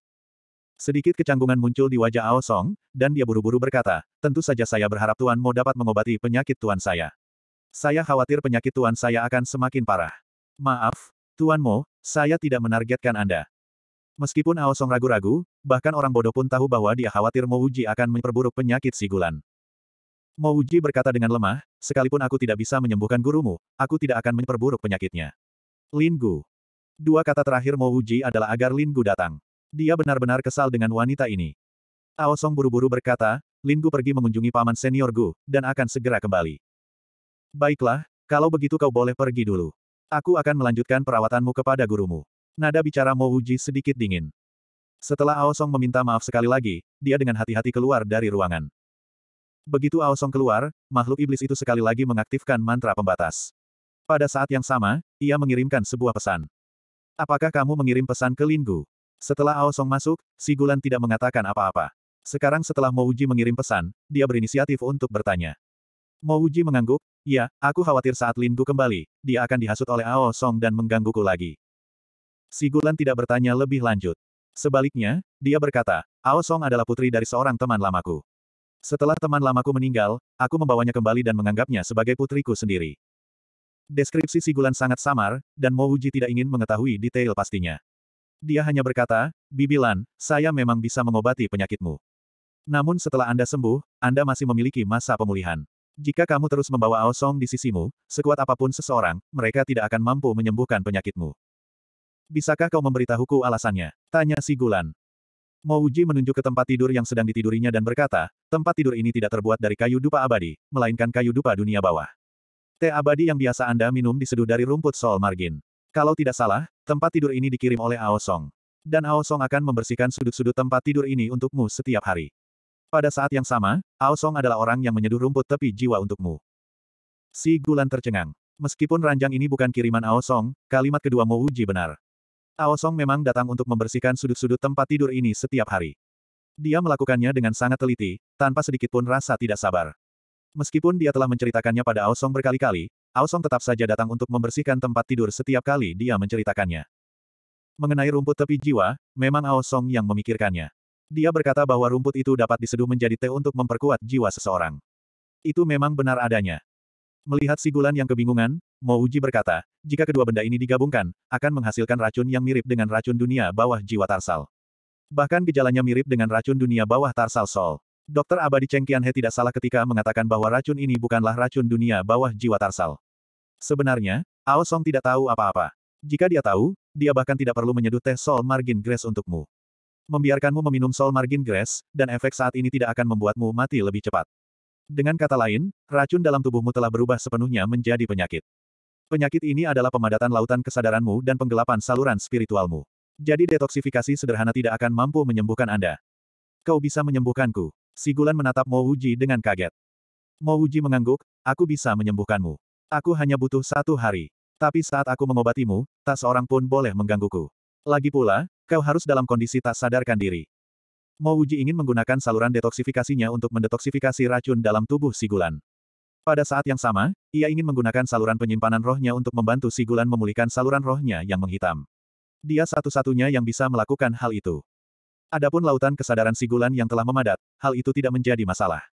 Setelah racun Sigulan didetoksifikasi, saluran rohnya akan pulih, dan lautan kesadarannya akan otomatis pulih. Baik saluran penyimpanan roh maupun saluran detoksifikasi, semua itu adalah rahasia terbesar Mouji. Dia pasti tidak akan membocorkan rahasia ini kepada Sigulan. Bahkan jika Sigulan adalah ibu Linggu, itu tidak akan terjadi. Baiklah, kalau begitu bantu aku dengan pengobatanku sekarang, Sigulan berkata tanpa ragu. Mo Wuji mengangguk. Dia tidak langsung bertindak, tetapi mengirimkan pesan lain. Baru pada saat itulah dia mulai memasang batasan-batasan di sekeliling mereka. Linggu sangat penasaran. Dia menerima pesan dari Mo Wuji. Pesannya agak aneh, jika dia mempercayainya, maka dia seharusnya tidak mengganggunya saat dia merawat ibunya. Linggu tentu saja mempercayai Mo Wuji. Bahkan jika Mouji tidak mengirim pesan ini, dia tidak akan mengganggu perlakuan Mouji terhadap ibunya. Dia tidak tahu bahwa saat Ao Song membujuknya untuk mengunjungi gurunya, Ao Song sudah menyentuh batasannya. Alasan mengapa hal itu aneh adalah karena setelah pesan ini, Mouji mengirim pesan lain. Isi pesannya sangat sederhana, saat aku mengobati lukaku, bahkan jika langit runtuh, jangan ganggu aku. Dua pesan berturut-turut datang. Meskipun Lin Gu tidak mengerti mengapa Mouji begitu berhati-hati, dia mengerti maksud Mouji. Ini karena Mouji tahu bahwa dia tidak akan menyentuh batasan itu. Alasan mengapa dia mengirim dua pesan ini adalah untuk memberitahunya agar tidak membiarkan Ao Song masuk. Berpikir kembali saat dia pergi, adik perempuan Ao Song memang sedikit khawatir tentang Mouji. Lin Gu tanpa sadar mempercepat langkahnya. Dia benar-benar khawatir adik perempuan Ao Song akan menyentuh batasan yang telah ditetapkan Mouji. Kakak senior, apakah ada kabar dari paman senior Gu? Saat Lin Gu tiba di luar kamar ibunya, Ao Song bertanya dengan cemas. Tuanku masih berkultivasi secara tertutup. Ao Song, kamu tampaknya khawatir. Lin Gu tentu saja tahu bahwa Ao Song sedang khawatir. Ao Song menggelengkan kepalanya, aku juga tidak tahu mengapa aku selalu khawatir tentang Tuan. Tuan Mo itu masih terlalu muda. Aku, Ai. Ketika Lin Gu mendengar bahwa Ao Song meragukan usia Mo Wuji, dia buru-buru berkata, Ao Song, kamu tidak perlu khawatir. Aku telah menyaksikan sendiri kemampuan kakakmu. Bahkan seorang kaisar pil mungkin tidak dapat mengalahkannya. Kilatan keterkejutan melintas di mata Ao Song. Setelah itu, dia menunjukkan ekspresi santai. Dalam batasan itu, si Gulan sudah kehilangan akal sehatnya. Mo Wuji sudah menggunakan meridian detoksifikasinya untuk membantu si Gulan memurnikan racun. Aliran energi hitam mulai beredar di bawah sirkulasi meridian detoksifikasi. Akhirnya, aliran tersebut mengembun menjadi cairan hitam pekat yang dipaksa keluar dari ujung jari si Gulan. Kali ini, Mo Wuji hanya mengeluarkan racunnya. Dia tidak mengubah racunnya menjadi energi spiritual abadi. Pertama, itu terlalu membuang waktu. Kedua, dia bukan orang yang diracuni. Jika dialah yang diracuni, meridian detoksifikasinya dapat membentuk jalur sirkulasi kecil dengan 107 saluran roh lainnya. Kemudian, mereka dapat membentuk jalur sirkulasi besar. Dengan cara itu, ia hanya butuh waktu kurang dari dua jam untuk mendetoksifikasi racun tersebut. Namun sekarang, ia harus menghabiskan waktu seharian penuh. Selain itu, ia tidak mampu mengubah racun tersebut menjadi energi spiritual abadi. Racun itu berubah menjadi cairan, yang dipaksa keluar oleh Mo Wuji dan disimpan ke dalam botol giok. Awalnya, Mo Wuji memperkirakan bahwa ia akan membutuhkan waktu sehari untuk menyembuhkan si Gulan sepenuhnya. Namun kini, satu hari telah berlalu. Ia hanya berhasil mengeluarkan semua racun dari tubuh si Gulan. Setelah itu, Mo Wuji menggunakan hari berikutnya untuk memperbaiki saluran rohnya. Untungnya, tingkat kultivasi si Gulan sudah mendekati nol. Saluran spiritualnya tidak memiliki banyak energi elemen abadi yang mengalir. Tidak banyak saluran roh yang menghitam. Hanya beberapa saja. Setelah dua hari penuh, Mouji akhirnya mampu memperbaiki saluran roh si Gulan sepenuhnya. Setelah mendetoksifikasi racun dan memperbaiki saluran spiritualnya, Mouji dengan santai mengirimkan beberapa aliran energi kehidupan. Gelombang energi kehidupan baru mengalir ke istana pikiran si Gulan. Si Gulan membuka matanya. Saat dia membuka matanya, dia dapat merasakan perbedaan pada tubuhnya. Dia tidak merasakan pemurnian energi spiritual abadi selama puluhan tahun. Sekarang, dia benar-benar dapat dengan mudah menyerap energi spiritual abadi. Setelah itu, energi spiritual abadi membentuk jalur sirkulasi di tubuhnya. Lautan kesadarannya yang padat juga mulai mencair dan pulih dengan cepat. Saya sudah baik-baik saja. Kau benar-benar menyembuhkanku, itu benar adanya. Si Gulan mengangkat tangannya. Dia tidak bisa lagi melihat tulang-tulang hitam di bawah kulit putihnya. Dia tidak bisa menahan diri untuk bergumam pada dirinya sendiri dengan air mata mengalir di wajahnya. Tidak ada yang bisa memahami emosinya saat ini. Sebagai seorang kultivator, tidak bisa berkultivasi dan hanya bisa menunggu kematian adalah siksaan yang tidak manusiawi. Hanya dalam waktu sepuluh tarikan napas, si Gulan pun duduk. Mouji sangat jelas bahwa karena dialah yang merawatnya, dia menggunakan saluran detoksifikasi dan saluran penyimpanan rohnya. Fondasi si Gulan tidak terluka. Paling-paling, dia hanya perlu beberapa tahun berkultivasi secara tertutup untuk pulih sepenuhnya. Haruskah aku simpan tempat tidur kayu dupa dunia bawah ini? Setelah menyelamatkan si Gulan, Mouji bergegas meninggalkan sekolah abadi bulan iblis. Dia berinisiatif untuk mengingatkan si Gulan, yang masih tenggelam dalam kegembiraan. Si Gulan tersadar kembali. Matanya dipenuhi rasa terima kasih. Setelah itu, dia menggelengkan kepalanya, tidak perlu menyimpannya. Bantu aku memanggil Lin Gu dan Ao Song. 568. Ibu, kamu. Melihat si Gulan duduk, dan tidak lagi melihat tulang hitam di bawah kulitnya, bagaimana mungkin Lin Gu tidak tahu apa yang telah terjadi. Dia begitu emosional sehingga air mata mulai mengalir di wajahnya. Dalam hatinya, alasan mengapa ibunya terbaring di tempat tidur selama ratusan tahun adalah karena dia pergi mencari sumsum -sum kayu abadi untuknya. Jika penyakit ibunya tidak disembuhkan, dia tidak akan bisa hidup tenang selama sisa hidupnya. Ao Song juga terkejut. Sedikit kepanikan melintas di matanya. Setelah itu, dia berkata dengan gembira, aku akan memberitahu tetua agung. Setelah berkata demikian, dia berbalik dan pergi. Mo Wuji menatap si Gulan. Ia ingin melihat apakah si Gulan akan membiarkan Ao Song tinggal. Sedikit kesedihan melintas di mata si Gulan. Ia menggelengkan kepalanya ke arah Mo Wuji. Jelas, dia tahu bahwa Ao Song ingin melarikan diri dari sekolah abadi Devil Moon. Karena Mouji telah menyembuhkan penyakit Sigulan, itu berarti Sigulan sudah tahu apa yang dia lakukan. Alasan mengapa Sigulan memanggil Ao Song, tetapi tidak mengganti tempat tidur dupa dunia bawah, adalah karena dia masih memiliki secercah harapan di hatinya.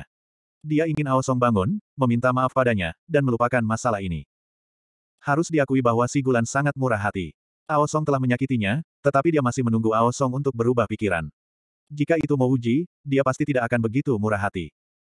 Ada kejadian seperti itu yang tercatat dalam buku sejarah di bumi. Saat itu, Hansan bertanya kepada Side, jika dunia memfitnahku, menindasku, mempermalukanku, menertawakanku, meremehkanku, memarahiku, membohongiku, bagaimana aku harus menghadapinya? Side menjawab Hansan, tahan saja, biarkan saja, hindari saja, tahan saja, hormati saja, dan abaikan saja. Setelah beberapa tahun lagi, kamu akan melihat bagaimana hasilnya. Metode Side adalah kemenangan mental. Memang, Metode ini bisa menghibur diri sendiri. Memang ada sebagian manusia yang akhirnya tidak punya apa-apa dan dibenci orang lain karena hal tersebut. Namun pada saat yang sama, ada juga sebagian orang yang mungkin memiliki kehidupan lebih baik daripada Anda. Alasan mengapa Sigulan membiarkan Aosong pergi adalah karena dia ingin bertahan dan menyerah dalam membalas dendamnya terhadap Aosong. Jika itu balasan Mouji kepada Hansan, maka balasannya adalah, kalahkan dia, kalahkan dia, dan kalahkan dia lagi. Jika Anda tidak dapat mengalahkannya, maka kembalilah beberapa tahun lagi untuk mengalahkannya, mengalahkannya, dan mengalahkannya lagi. Yang membuat Mouji curiga adalah Aosong yang diselamatkan oleh si Gulan tiba-tiba berhenti di pintu. Dia perlahan-lahan menoleh, wajahnya tidak lagi menampakkan keterkejutan dan kegembiraan seperti sebelumnya. Sebaliknya, dia dengan tenang menatap si Gulan dan Mouji dan berkata, Aku lupa, kalian bertiga yang bersatu seharusnya tidak cukup untuk menghadapiku. Aosong merupakan seorang Dewa Yi Agung, Mouji berada di tahap Dewa Suan dasar, dan Lin Gu berada di lingkaran besar tahap Dewa Suan. Sigulan baru saja pulih, dan butuh setidaknya beberapa tahun baginya untuk memulihkan kultivasinya. Adik Aosong, kau. Mendengar perkataan Aosong, Lin Gu tercengang. Ia menatap Aosong dengan linglung, tidak tahu apa yang sedang terjadi. Aosong berpura-pura tidak melihat atau mendengar perkataan Lin Gu. Dia mundur beberapa langkah dan mengangkat tangannya, Sigulan, aku yakin kamu sudah tahu bagaimana penyakitmu muncul, kan? Tadinya, aku ingin memberimu bantuan untuk menyampaikan Dao dan membiarkanmu pergi dengan damai. Karena kamu tidak bersedia, maka jangan salahkan aku jika mengambil tindakan. Pedang berbentuk bulan sabit muncul di telapak tangan Aosong. Cahaya redup itu tampaknya tidak ada apa-apanya. Mouji sangat yakin bahwa benda itu bukanlah benda kosong, juga bukan seni sihir. Itu adalah peralatan abadi yang sebenarnya. Kaulah yang telah menyakiti ibuku, dasar tak berperasaan dan tak bermoral, saat Lin Gu tersadar, matanya berubah merah saat ia menyerang Aosong. Mouji menarik Lin Gu kembali dan berkata dengan tenang, biar aku saja. Dia tahu bahwa Lin Gu jelas bukan tandingan Ao Song. Menyerang ke depan seperti itu sama saja dengan mencari kematian. Lin Gu telah melihat bagaimana Mouji hampir membunuh seorang Dewa Agung Yi tingkat dasar dengan satu tebasan. Dia menjadi tenang dan tidak terus menyerang ke depan. Sebaliknya, dia mengeluarkan harta karun ajaibnya dan berjalan ke samping tempat tidur Sigulan. Saat Mouji dan Ao Song mulai bertarung, dia harus melindungi Sigulan setiap saat. Sigulan membuka tangannya untuk meraih cincin penyimpanannya. Kemudian, ekspresinya berubah. Alasan mengapa dia berani membiarkan Aosong masuk adalah karena dia masih memiliki jimat ofensif kelas 8 di cincin penyimpanannya. Tidak perlu membicarakan satu Aosong, bahkan jika ada seratus Aosong, dia masih bisa mengatasinya dengan mudah. Pada saat ini, ketika dia meraih cincin penyimpanannya, dia menyadari bahwa dia masih tidak bisa membuka segel di dalamnya. Lautan kesadarannya baru saja hidup kembali. Jika dia ingin memperluas keinginan spiritualnya, dia membutuhkan setidaknya satu hari. Untuk mengaktifkan jimat ini, dia membutuhkan waktu setidaknya setengah bulan. Dia baru saja pulih dari penyakitnya. Dia masih belum terbiasa dengan tubuh yang dapat menyerap energi spiritual abadi dan tidak dapat menggunakan kehendak spiritual. Tunggu, Ao Song. Biarkan ahli Pilmo dan Lin Gu pergi. Aku siap membantumu. Reaksi Sigulan jauh lebih cepat daripada Lin Gu. Dia mengerti bahwa mereka bertiga tidak akan sebanding dengan Ao Song. Dia segera membuat keputusan. Mo mengulurkan tangannya untuk menghentikan si Gulan berbicara. Sebuah pedang abu-abu gelap muncul di tangannya. Ao Song, karena aku berani menyembuhkan bibilan di depanmu, aku tidak pernah berpikir bahwa aku takut padamu. Jika kau ingin bertarung, maka datanglah padaku. Biarkan aku melihat seberapa berharganya seorang Dewa Agung Yi sepertimu. Ao Song jelas merupakan seorang Dewa Agung Yi. Jika Mo Wuji bahkan tidak bisa memikirkan hal ini, bagaimana mungkin dia bisa hidup sampai hari ini? Sejujurnya, dia bahkan tidak takut pada Ao Song. Jika dia takut pada Ao Song, dia tidak akan menyembuhkan si Gulan saat itu juga. Lin Gu, cepat bawa ahli Pilmo pergi. Aku. Si Gulan melihat bahwa Ao Song tampaknya tidak berniat melepaskannya. Dia sedikit meronta, tetapi dia terlalu lemah. Niat membunuh Ao Song berputar di sekelilingnya. Domain abadi agungnya menyapu ke arah Mo Wuji. Jika bukan karena Mo Wuji, dia bahkan tidak perlu melakukan hal ini. Domain Mo Wuji juga dikirim. Domain Mo Wuji adalah domain pusaran air. Meskipun domain abadi Grand Yi milik Aosong memiliki tingkatan yang jauh lebih tinggi daripada domain milik Mo Wuji, saat domain itu berbenturan dengan domain milik Mo Wuji, Aosong langsung merasakan pusaran energi yang kuat mencabik-cabik domainnya. Mo Wuji tidak membuang kata-kata. Pedang di tangannya ditebas. Melawan Grand Yi Immortal, Mo Wuji tidak menunjukkan belas kasihan. Energi unsur abadi yang dahsyat menyapu, membawa serta cahaya pedang sejauh puluhan meter. Cahaya pedang itu dipadatkan oleh Mo Wuji. Niat membunuhnya begitu agung dan mengejutkan. Apa? Wilayah kekuasaan Aosong sudah hampir runtuh dari wilayah kekuasaan Mouji. Sekarang setelah pedang Mouji menebas, wilayah kekuasaannya langsung terbelah. Cahaya pedang yang menusuk jiwa itu menebas. Aosong tanpa sadar menggigil. Sebelum dia menyerang, dia bahkan tidak menempatkan Mouji di matanya. Itu karena Mouji hanya berada di tahap suan abadi tingkat dasar. Selain itu, Mouji tidak memiliki spiritualitas apa pun di sekitarnya. Sekali lihat saja, dia bisa tahu bahwa dia adalah orang yang tidak berguna. Bagaimana mungkin dia mengira Mo Wuji begitu menakutkan? Hanya dengan memperluas wilayah kekuasaannya dan menebas dengan pedangnya, dia sudah berada dalam posisi yang sangat tidak menguntungkan. Dia bahkan dalam bahaya kehilangan nyawanya. Pada saat ini, Ao Song tidak lagi berpikir untuk meremehkan Mo Wuji. Cahaya pedang bulan sabit yang samar di tangannya bersinar terang, berubah menjadi cahaya pedang bulan sabit yang menghalangi bekas luka pedang pembunuh Mo Wuji yang turun. Ledakan. Kedua cahaya pedang itu saling beradu. Batasan di sekitarnya langsung berubah menjadi reruntuhan. Ki pedang yang merobek melesat ke langit. Ao Song langsung terlempar oleh niat membunuh Mo Wuji yang kuat. Dia menabrak pembatas di dekat pintu. Bekas luka berdarah membentang dari dahi Ao Song hingga ke dagunya. Darah segar merembes keluar dan menetes ke tanah. Kalau saja cahaya pedang Mo Wuji sedikit lebih kuat, atau kalau saja Ao Song sedikit lebih lambat, pedang Mo Wuji pasti sudah membelah kepalanya. Ao Song tidak berani lagi menyerang Mo Wuji. Namun, Mo Wuji tidak akan membiarkan wanita ini lolos begitu saja. Dia melangkah maju ke arah Ao Song. Pedang di tangannya terangkat sekali lagi. Pada saat yang sama, pusaran airnya mulai menelan ruang di sekitarnya. Niat membunuhnya telah meningkat. Pada saat ini, Ao Song sudah menjadi orang mati di matanya. Ao Song merasakan perubahan di sekitarnya. Sedikit warna abu-abu melintas di matanya. Dia tidak menyangka Mo Wuji begitu kuat. Awalnya, dia mengira Mo Wuji menyembunyikan kultivasinya. Namun, setelah bertukar pukulan dengan Mo Wuji, dia sangat yakin bahwa Mo Wuji benar-benar berada di tahap suan abadi tingkat dasar. Bukannya dia tidak pernah mendengar tentang Suan Immortals yang mampu bertarung melawan Grand Yi Immortals. Mereka adalah dewa-dewa lingkaran besar Suan yang bertarung melawan dewa-dewa Yi Agung. Meskipun dia bukan Grand Yi Immortal yang kuat, dia juga bukan Grand Yi Immortal yang terlemah. Akan tetapi, Suan Immortal di depannya ini seharusnya belum berada di tahap Suan Immortal menengah. Bagaimana mungkin tingkat kekuatan ini begitu mengejutkan? Dia menggertakkan giginya dan hendak menggunakan kartu trufnya. Tidak peduli seberapa kuat Mo Wuji, dia hanyalah seorang dewa Suan. Baru pada saat itulah si Gulan bereaksi. Matanya juga menunjukkan sedikit keterkejutan. Dia juga belum pernah melihat seorang kultivator Suan Immortal sekuat Mo Wuji. Tidak heran mengapa Lin Gu tidak maju untuk membantu Mo Wuji. Sebaliknya, dia malah mundur ke sisinya. Dari apa yang terlihat, Lin Gu sudah tahu bahwa Mo Wuji sangat kuat. Dia bukanlah seseorang yang bisa dilawan oleh seorang Dewa Agung Yi biasa. Niat membunuh dalam tebasan kedua Mo Wuji bahkan lebih dahsyat. Niat membunuh yang dahsyat ini adalah sesuatu yang bahkan Sigulan dan Lin Gu dapat rasakan dengan jelas. Ahli Pilmo, tolong lepaskan dia kali ini. Lepaskan dia, Sigulan berkata dengan susah payah. Akhirnya, dia tidak bisa menahan diri untuk memohon bantuan Aosong. Mo Wuji mendesah dalam hatinya. Menurut rencananya, dia tidak akan membiarkan Aosong lolos begitu saja. Namun karena Ibu Lin Gu sudah berbicara, tidak baik baginya untuk terus menyerang. Dia hanya bisa melonggarkan wilayah kekuasaannya dan hawa membunuh di sekitarnya. Hampir pada saat yang sama ketika Mo Uji melepaskan domain dan penekanan spasialnya, Ao Song menyerah untuk bertahan.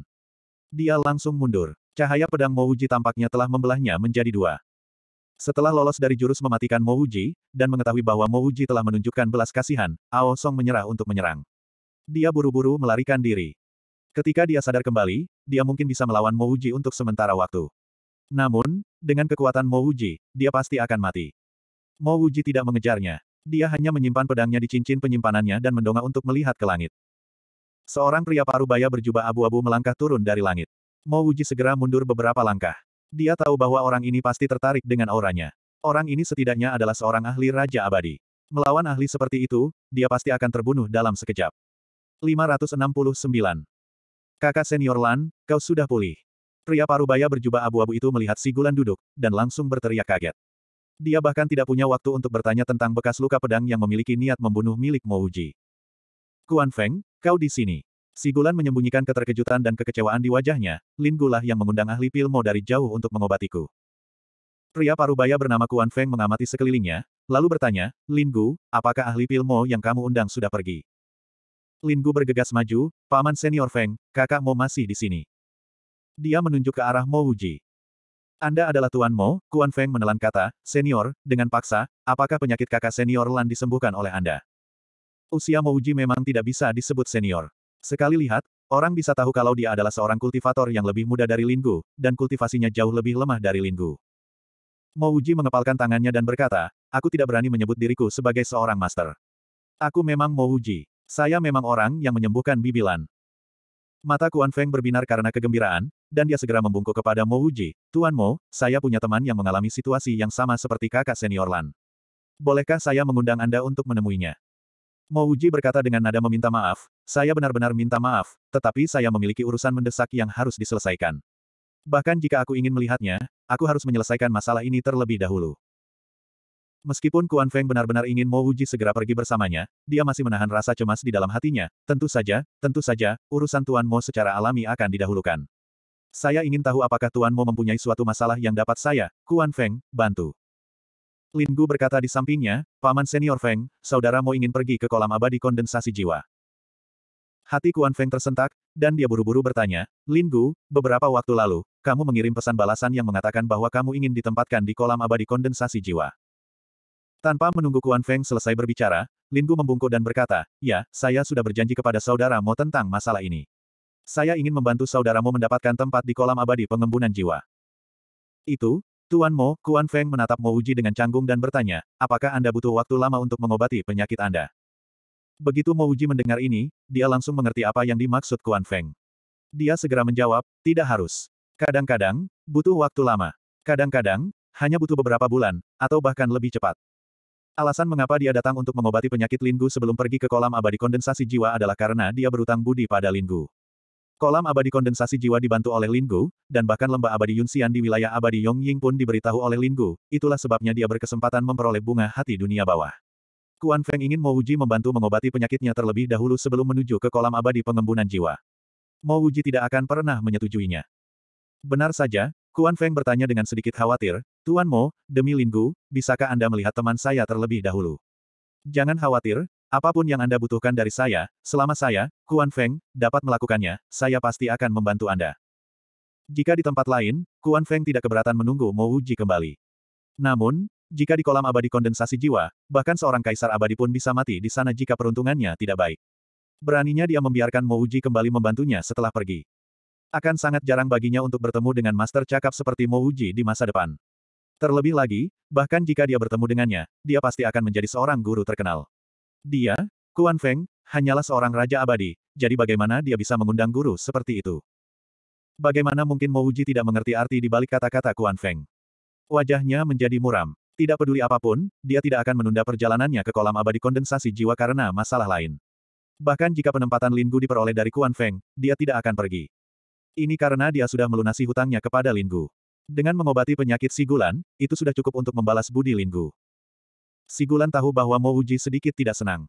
Mo Wuji adalah seorang kultivator muda yang cakap, dan dia pasti akan menjadi seorang ahli di masa depan. Dia bahkan mungkin tidak lebih lemah dari seorang kaisar abadi. Orang semacam ini hanya bisa dijadikan teman, dan sudah pasti tidak bisa dijadikan musuh.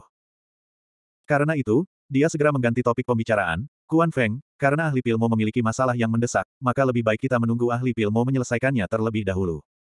Benar, benar, aku salah. Kuan Feng juga tahu bahwa kata-katanya tidak pantas, jadi dia buru-buru meminta maaf kepada Mo Wuji. Lin Gu mengerti maksud Mo Wuji, jadi dia buru-buru membungkuk dan berkata, Paman senior Kuan Feng, saya akan membawa saudara Mo ke kolam abadi pengembunan jiwa sekarang. Penyakit ibu saya baru saja sembuh, dan dia tidak memiliki sedikit pun kultivasi yang tersisa. Semoga Paman senior Kuan Feng membawa ibu saya ke gunung penyembuhan untuk berkultivasi secara tertutup. Dia tidak menyebutkan apa pun tentang Ao Song.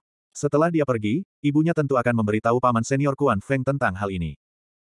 Lin Gu, tenang saja. Aku akan menjadikan pemulihan kakak senior Lan sebagai prioritas utamaku. Kau tinggal mengirim Master Mo ke kolam abadi pengembunan jiwa. Setelah masalah Tuan Mo beres, aku akan mengundang Tuan Mo ke sekolah abadi bulan iblisku sebagai tamu, kata Kuan Feng. Lin Gu mengucapkan beberapa patah kata perpisahan kepada ibunya, lalu bergegas pergi bersama Mo Wuji. Dia tahu bahwa Mo Wuji sangat cemas. Dia bersedia melakukan apa saja demi Mo Wuji untuk mengobati penyakit ibunya. Belum lagi membawa Mo Wuji ke kolam abadi kondensasi jiwa sesegera mungkin. Setelah Mo Wuji dan Lin Gu pergi, Kuan Feng teringat akan niat membunuh dari pedang yang dilihatnya, serta bekas tebasan di depannya.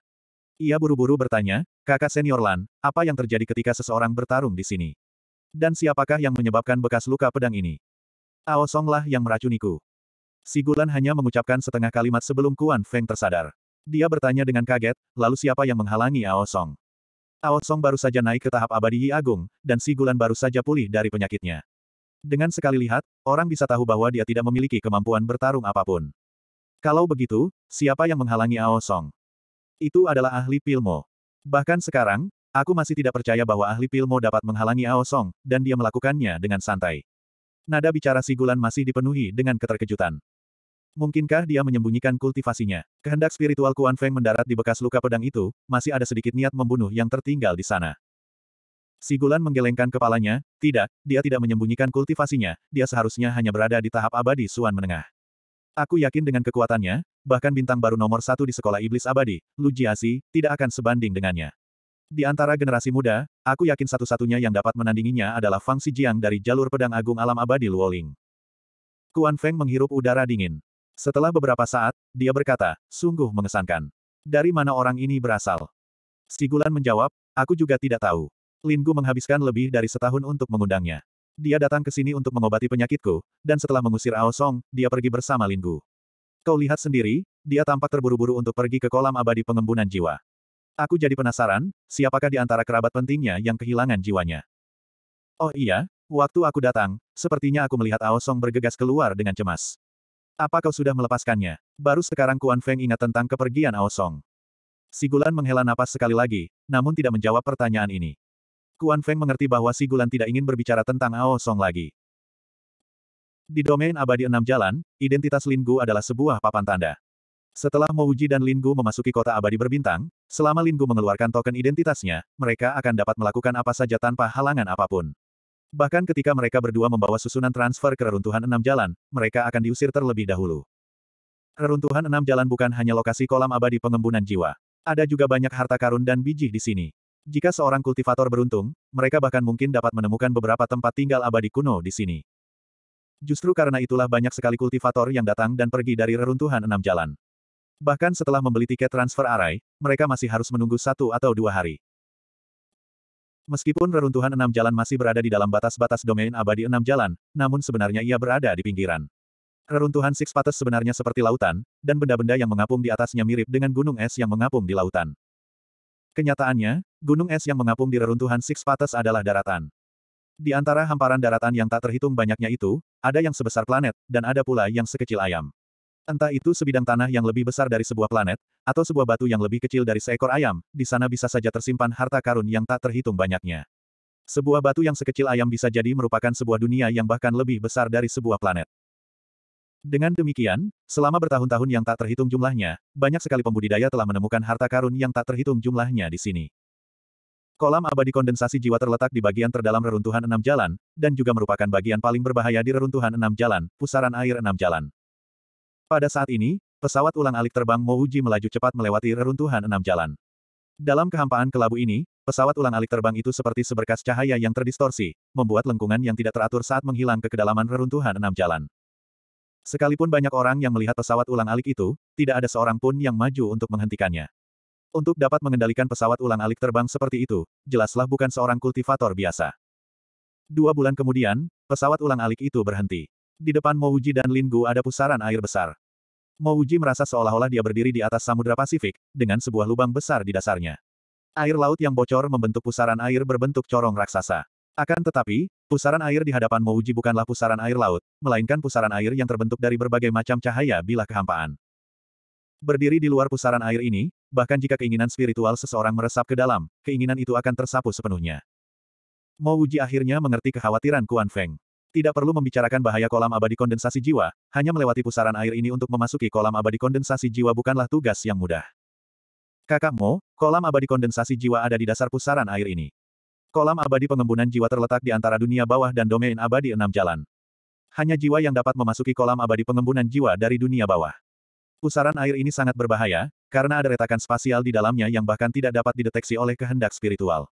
Jika seseorang tidak beruntung, ia akan terkoyak oleh retakan spasial, Linggu menunjuk ke pusaran air dan berkata. Linggu berbicara tentang keberuntungan, dan bukan kekuatan.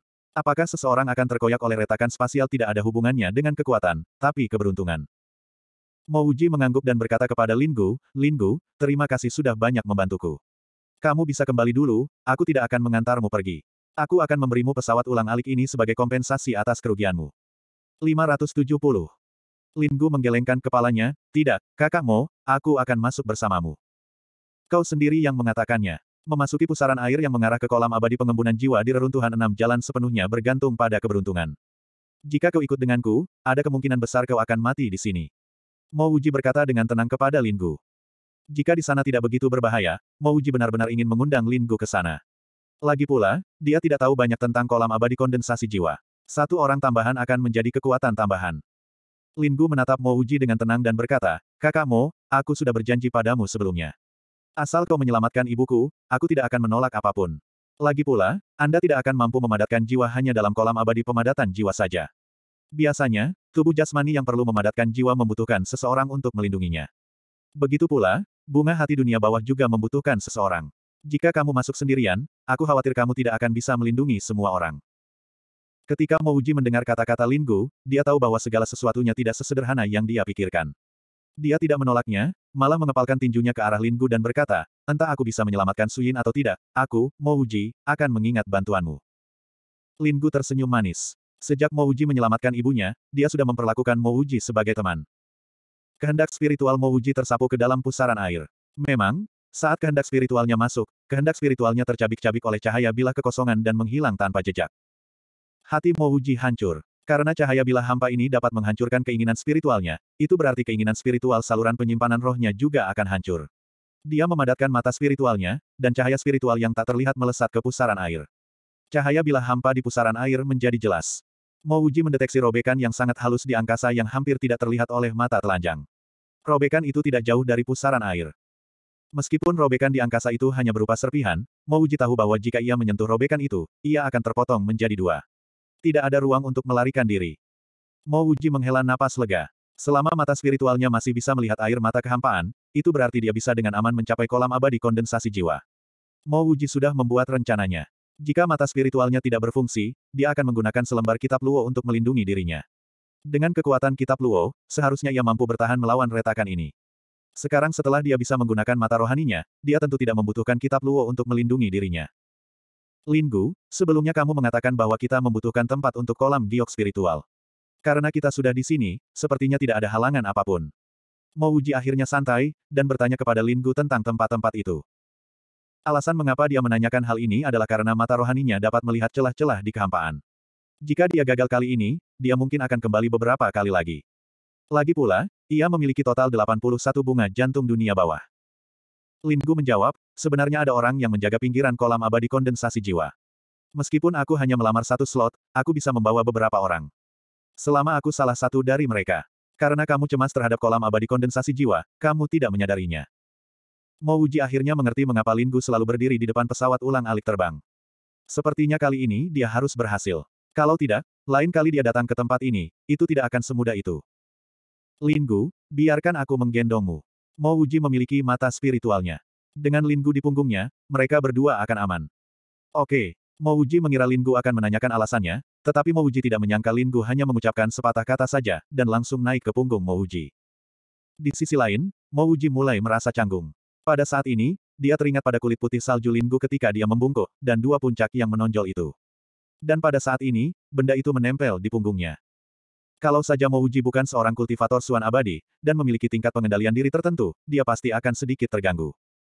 Yang tidak diketahuinya adalah saat Lin Gu membungkuk, tindakannya itu sepenuhnya disengaja. Lin Gu bukanlah wanita yang pandai menggunakan tipu daya, dan di saat yang sama, dia adalah wanita yang sangat konservatif. Dia tidak seceroboh itu. Tidak peduli seberapa konservatifnya dia, Lin Gu pernah mendengar beberapa wanita menggunakan penampilan mereka untuk berkultivasi ganda dengan pria, untuk mendapatkan sumber daya kultivasi dalam jumlah besar. Lin Gu meremehkan menjual tubuhnya sendiri hanya untuk mendapatkan sumber daya kultivasi. Namun demi ibunya, dia rela melakukan apa saja. Dia tidak tahu bagaimana menggunakan pesona kewanitaannya, jadi dia hanya bisa menggunakan metode tingkat rendah yaitu membungkuk untuk menarik perhatian Mo Wuji. Dia bahkan tidak peduli dengan hidupnya sendiri, jadi mengapa Lin Gu meminta Mo Wuji untuk sekedar menghubunginya. Dengan kata lain, jika Mo Wuji ingin berkultivasi ganda dengannya, dia akan setuju tanpa keraguan. Itu bukan karena dia menyukai Mo Wuji, tetapi karena rasa terima kasih. Yang tidak diduga Lin Gu adalah saat dia baru saja naik ke punggung Mo Wuji, Mo Wuji melompat turun, dan seluruh tubuhnya menyerbu ke dalam pusaran air. Dia tidak melakukan persiapan apa pun, dan dia bahkan tidak mengeluarkan harta pertahanannya. Tidak hanya itu, kecepatan Mo Wuji sangatlah cepat, dan sebagian dari pancaran bilah pedang spasial diblokir sepenuhnya oleh domainnya. Kadang-kadang, sebagian cahaya bilah spasial akan menerobos domain, tetapi semuanya diblokir oleh Mo Wuji. Lin Gu, yang berada di punggung Mo Wuji, tidak terpengaruh sama sekali. Kakak Mo, kamu harus pelan-pelan saja. Tempat ini sepenuhnya bergantung pada keberuntungan. Seseorang pernah memasuki pusaran air ini, dan dia berkata bahwa tidak peduli seberapa cepat dia, dia tidak akan bisa lolos dari robekan kehampaan. Merasakan kecepatan Mouji yang tak tertandingi, Lin Gu mengingatkannya dengan takut. Mouji menjawab dengan sungguh-sungguh, kau tidak perlu khawatir, aku tahu. Mata spiritual Mouji telah aktif, dan entah itu robekan kekosongan kecil atau besar, dia akan mampu menghindari semuanya. Awalnya, Lin Gu masih takut, tetapi dia segera menyadari bahwa tidak peduli seberapa cepat Mo Wuji, mereka berdua tidak menemui robekan spasial apa pun. Dia mulai curiga bahwa Mo Wuji punya beberapa metode untuk merasakan lokasi robekan spasial, dan menghindarinya terlebih dahulu. Jika memang demikian, maka Mo Wuji sungguh sangat mengesankan. Jika masalah ini bocor, banyak orang akan datang mencari Mo Wuji. Mo Wuji tidak tahu apa yang dipikirkan Lin Gu. Selain perasaan aneh saat Lin Gu menempel di tubuhnya, dia benar-benar melupakannya setelah memasuki pusaran cahaya pedang. Pada saat ini, satu-satunya pikiran Mo Wuji adalah menambah kecepatan, jadi dia memacu kecepatannya hingga ekstrim. Dengan mata spiritualnya yang membuka jalan, dia tidak perlu khawatir tentang robekan spasial, dan kecepatannya tidak akan jauh lebih lambat dari seorang kaisar abadi. Meskipun kaisar abadi tidak takut dengan robekan spasial biasa, mereka tetap harus berhati-hati saat memasuki tempat ini, dan mereka harus mengandalkan metode mereka sendiri untuk menghindari beberapa robekan spasial. Jika mereka tidak berhati-hati, mereka tetap bisa binasa. Tentu saja, pada level Kaisar Abadi, mereka biasanya memiliki harta sihir pertahanan kelas atas mereka sendiri. Harta sihir ini mungkin tidak dapat mengatasi robekan spasial, tetapi mereka masih dapat bertindak sebagai peringatan sebelum dihancurkan oleh robekan spasial. Mo Wuji membawa Lin Gu dan turun dengan cepat ke pusaran reruntuhan enam jalan. Pada saat yang sama, seorang pria jangkung dan kurus yang mengenakan mahkota Kaisar Abadi dari domain Abadi Dewa mengerutkan kening dan menangis. Kaisar Abadi ini merupakan salah satu Kaisar Abadi tingkat puncak dari domain Abadi Dewa, Kaisar Abadi Lunkai.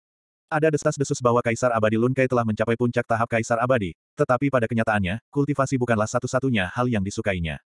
Orang yang paling disukainya adalah seorang wanita bernama Siang Su, dan dia juga selir kesayangannya. Baginya, wanita ini hampir sama pentingnya dengan daunnya sendiri. Entah mengapa, Siang Su tiba-tiba jatuh sakit. Kaisar Abadi Lunkai mengundang hampir semua dokter abadi yang terkenal ke sini, tetapi dalam seratus tahun terakhir, selir kesayangannya masih koma, dan kondisinya tidak membaik sama sekali. Pada hari ini, di bawah perintah Kaisar Abadi Lun Kai, puluhan dokter abadi datang untuk melihat Siang Su, dan kemudian mereka mendiskusikan hasilnya. Melihat ekspresi para tabib abadi ini, Lun Kai tahu bahwa hari ini akan sama saja seperti sebelumnya, tanpa hasil. Hal ini membuatnya sangat kesal. Pada saat ini, seorang wanita berambut merah bergegas masuk sambil membawa pedang terbang. Tulisan pada pedang pembawa pesan terbang itu sangat sederhana, begitu sederhananya hingga hanya terdiri dari satu kalimat. Ada rumor yang mengatakan bahwa seorang kultivator muda bernama Mouji telah datang ke sekolah abadi bulan iblis, dan orang ini dapat menyembuhkan penyakit Siangsu. Hong Ling, siapa yang mengirim pedang utusan terbang ini? Kaisar abadi Lun Kai bahkan tidak melihat ke arah puluhan dokter abadi di ruangan itu, dan pergi dengan pedang pembawa pesan terbang. Wanita bernama Hong Ling itu buru-buru mengikutinya dari belakang, dan berkata, itu dikirim oleh penjaga istana kota Jifei. Dia berkata bahwa bukan hanya kota Jifei, tetapi setidaknya sepuluh kota abadi lainnya memiliki pengumuman seperti itu yang ditempel di jalan-jalan, dan semuanya memiliki kalimat yang sama. Hong Ling, pergilah dan cari tahu siapa Mouji ini, dan siapa yang memasang pengumuman ini, kata Lun Kai segera. Iya, Hong Ling menjawab, dan bergegas pergi.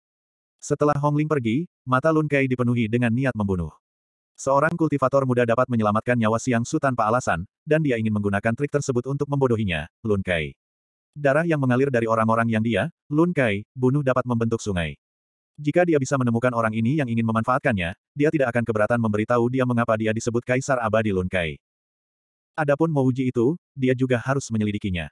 Dia lebih baik melakukan kesalahan daripada kehilangan kesempatan untuk menyelamatkan selir kesayangannya. Lun Kei tidak perlu menunggu lama sebelum Hong Ling bergegas mendekat dengan cemas. Bagaimana? Sebelum Hong Ling sempat berbicara, Lun Kei berdiri dan bertanya. Mata Hong Ling dipenuhi kegembiraan saat dia berkata, kami tidak berhasil menemukan orang yang memasang pemberitahuan ini, tetapi kami tahu bahwa orang ini telah sepenuhnya mengubah penampilannya, dan bahkan auranya. Namun, kami berhasil menemukan Mo Uji ini, dan dia memang seorang dokter abadi yang tak tertandingi. Sigulan dari sekolah abadi bulan iblis disembuhkan olehnya. Sigulan sekarang sedang dalam kultivasi tertutup, dan kudengar kultivasinya pulih dengan sangat cepat. Sigulan, aku tahu. Cepat, bawa Mouji itu ke sini, aku harus menemuinya secepatnya. Kaisar abadi Lun Kai juga berdiri dengan gembira.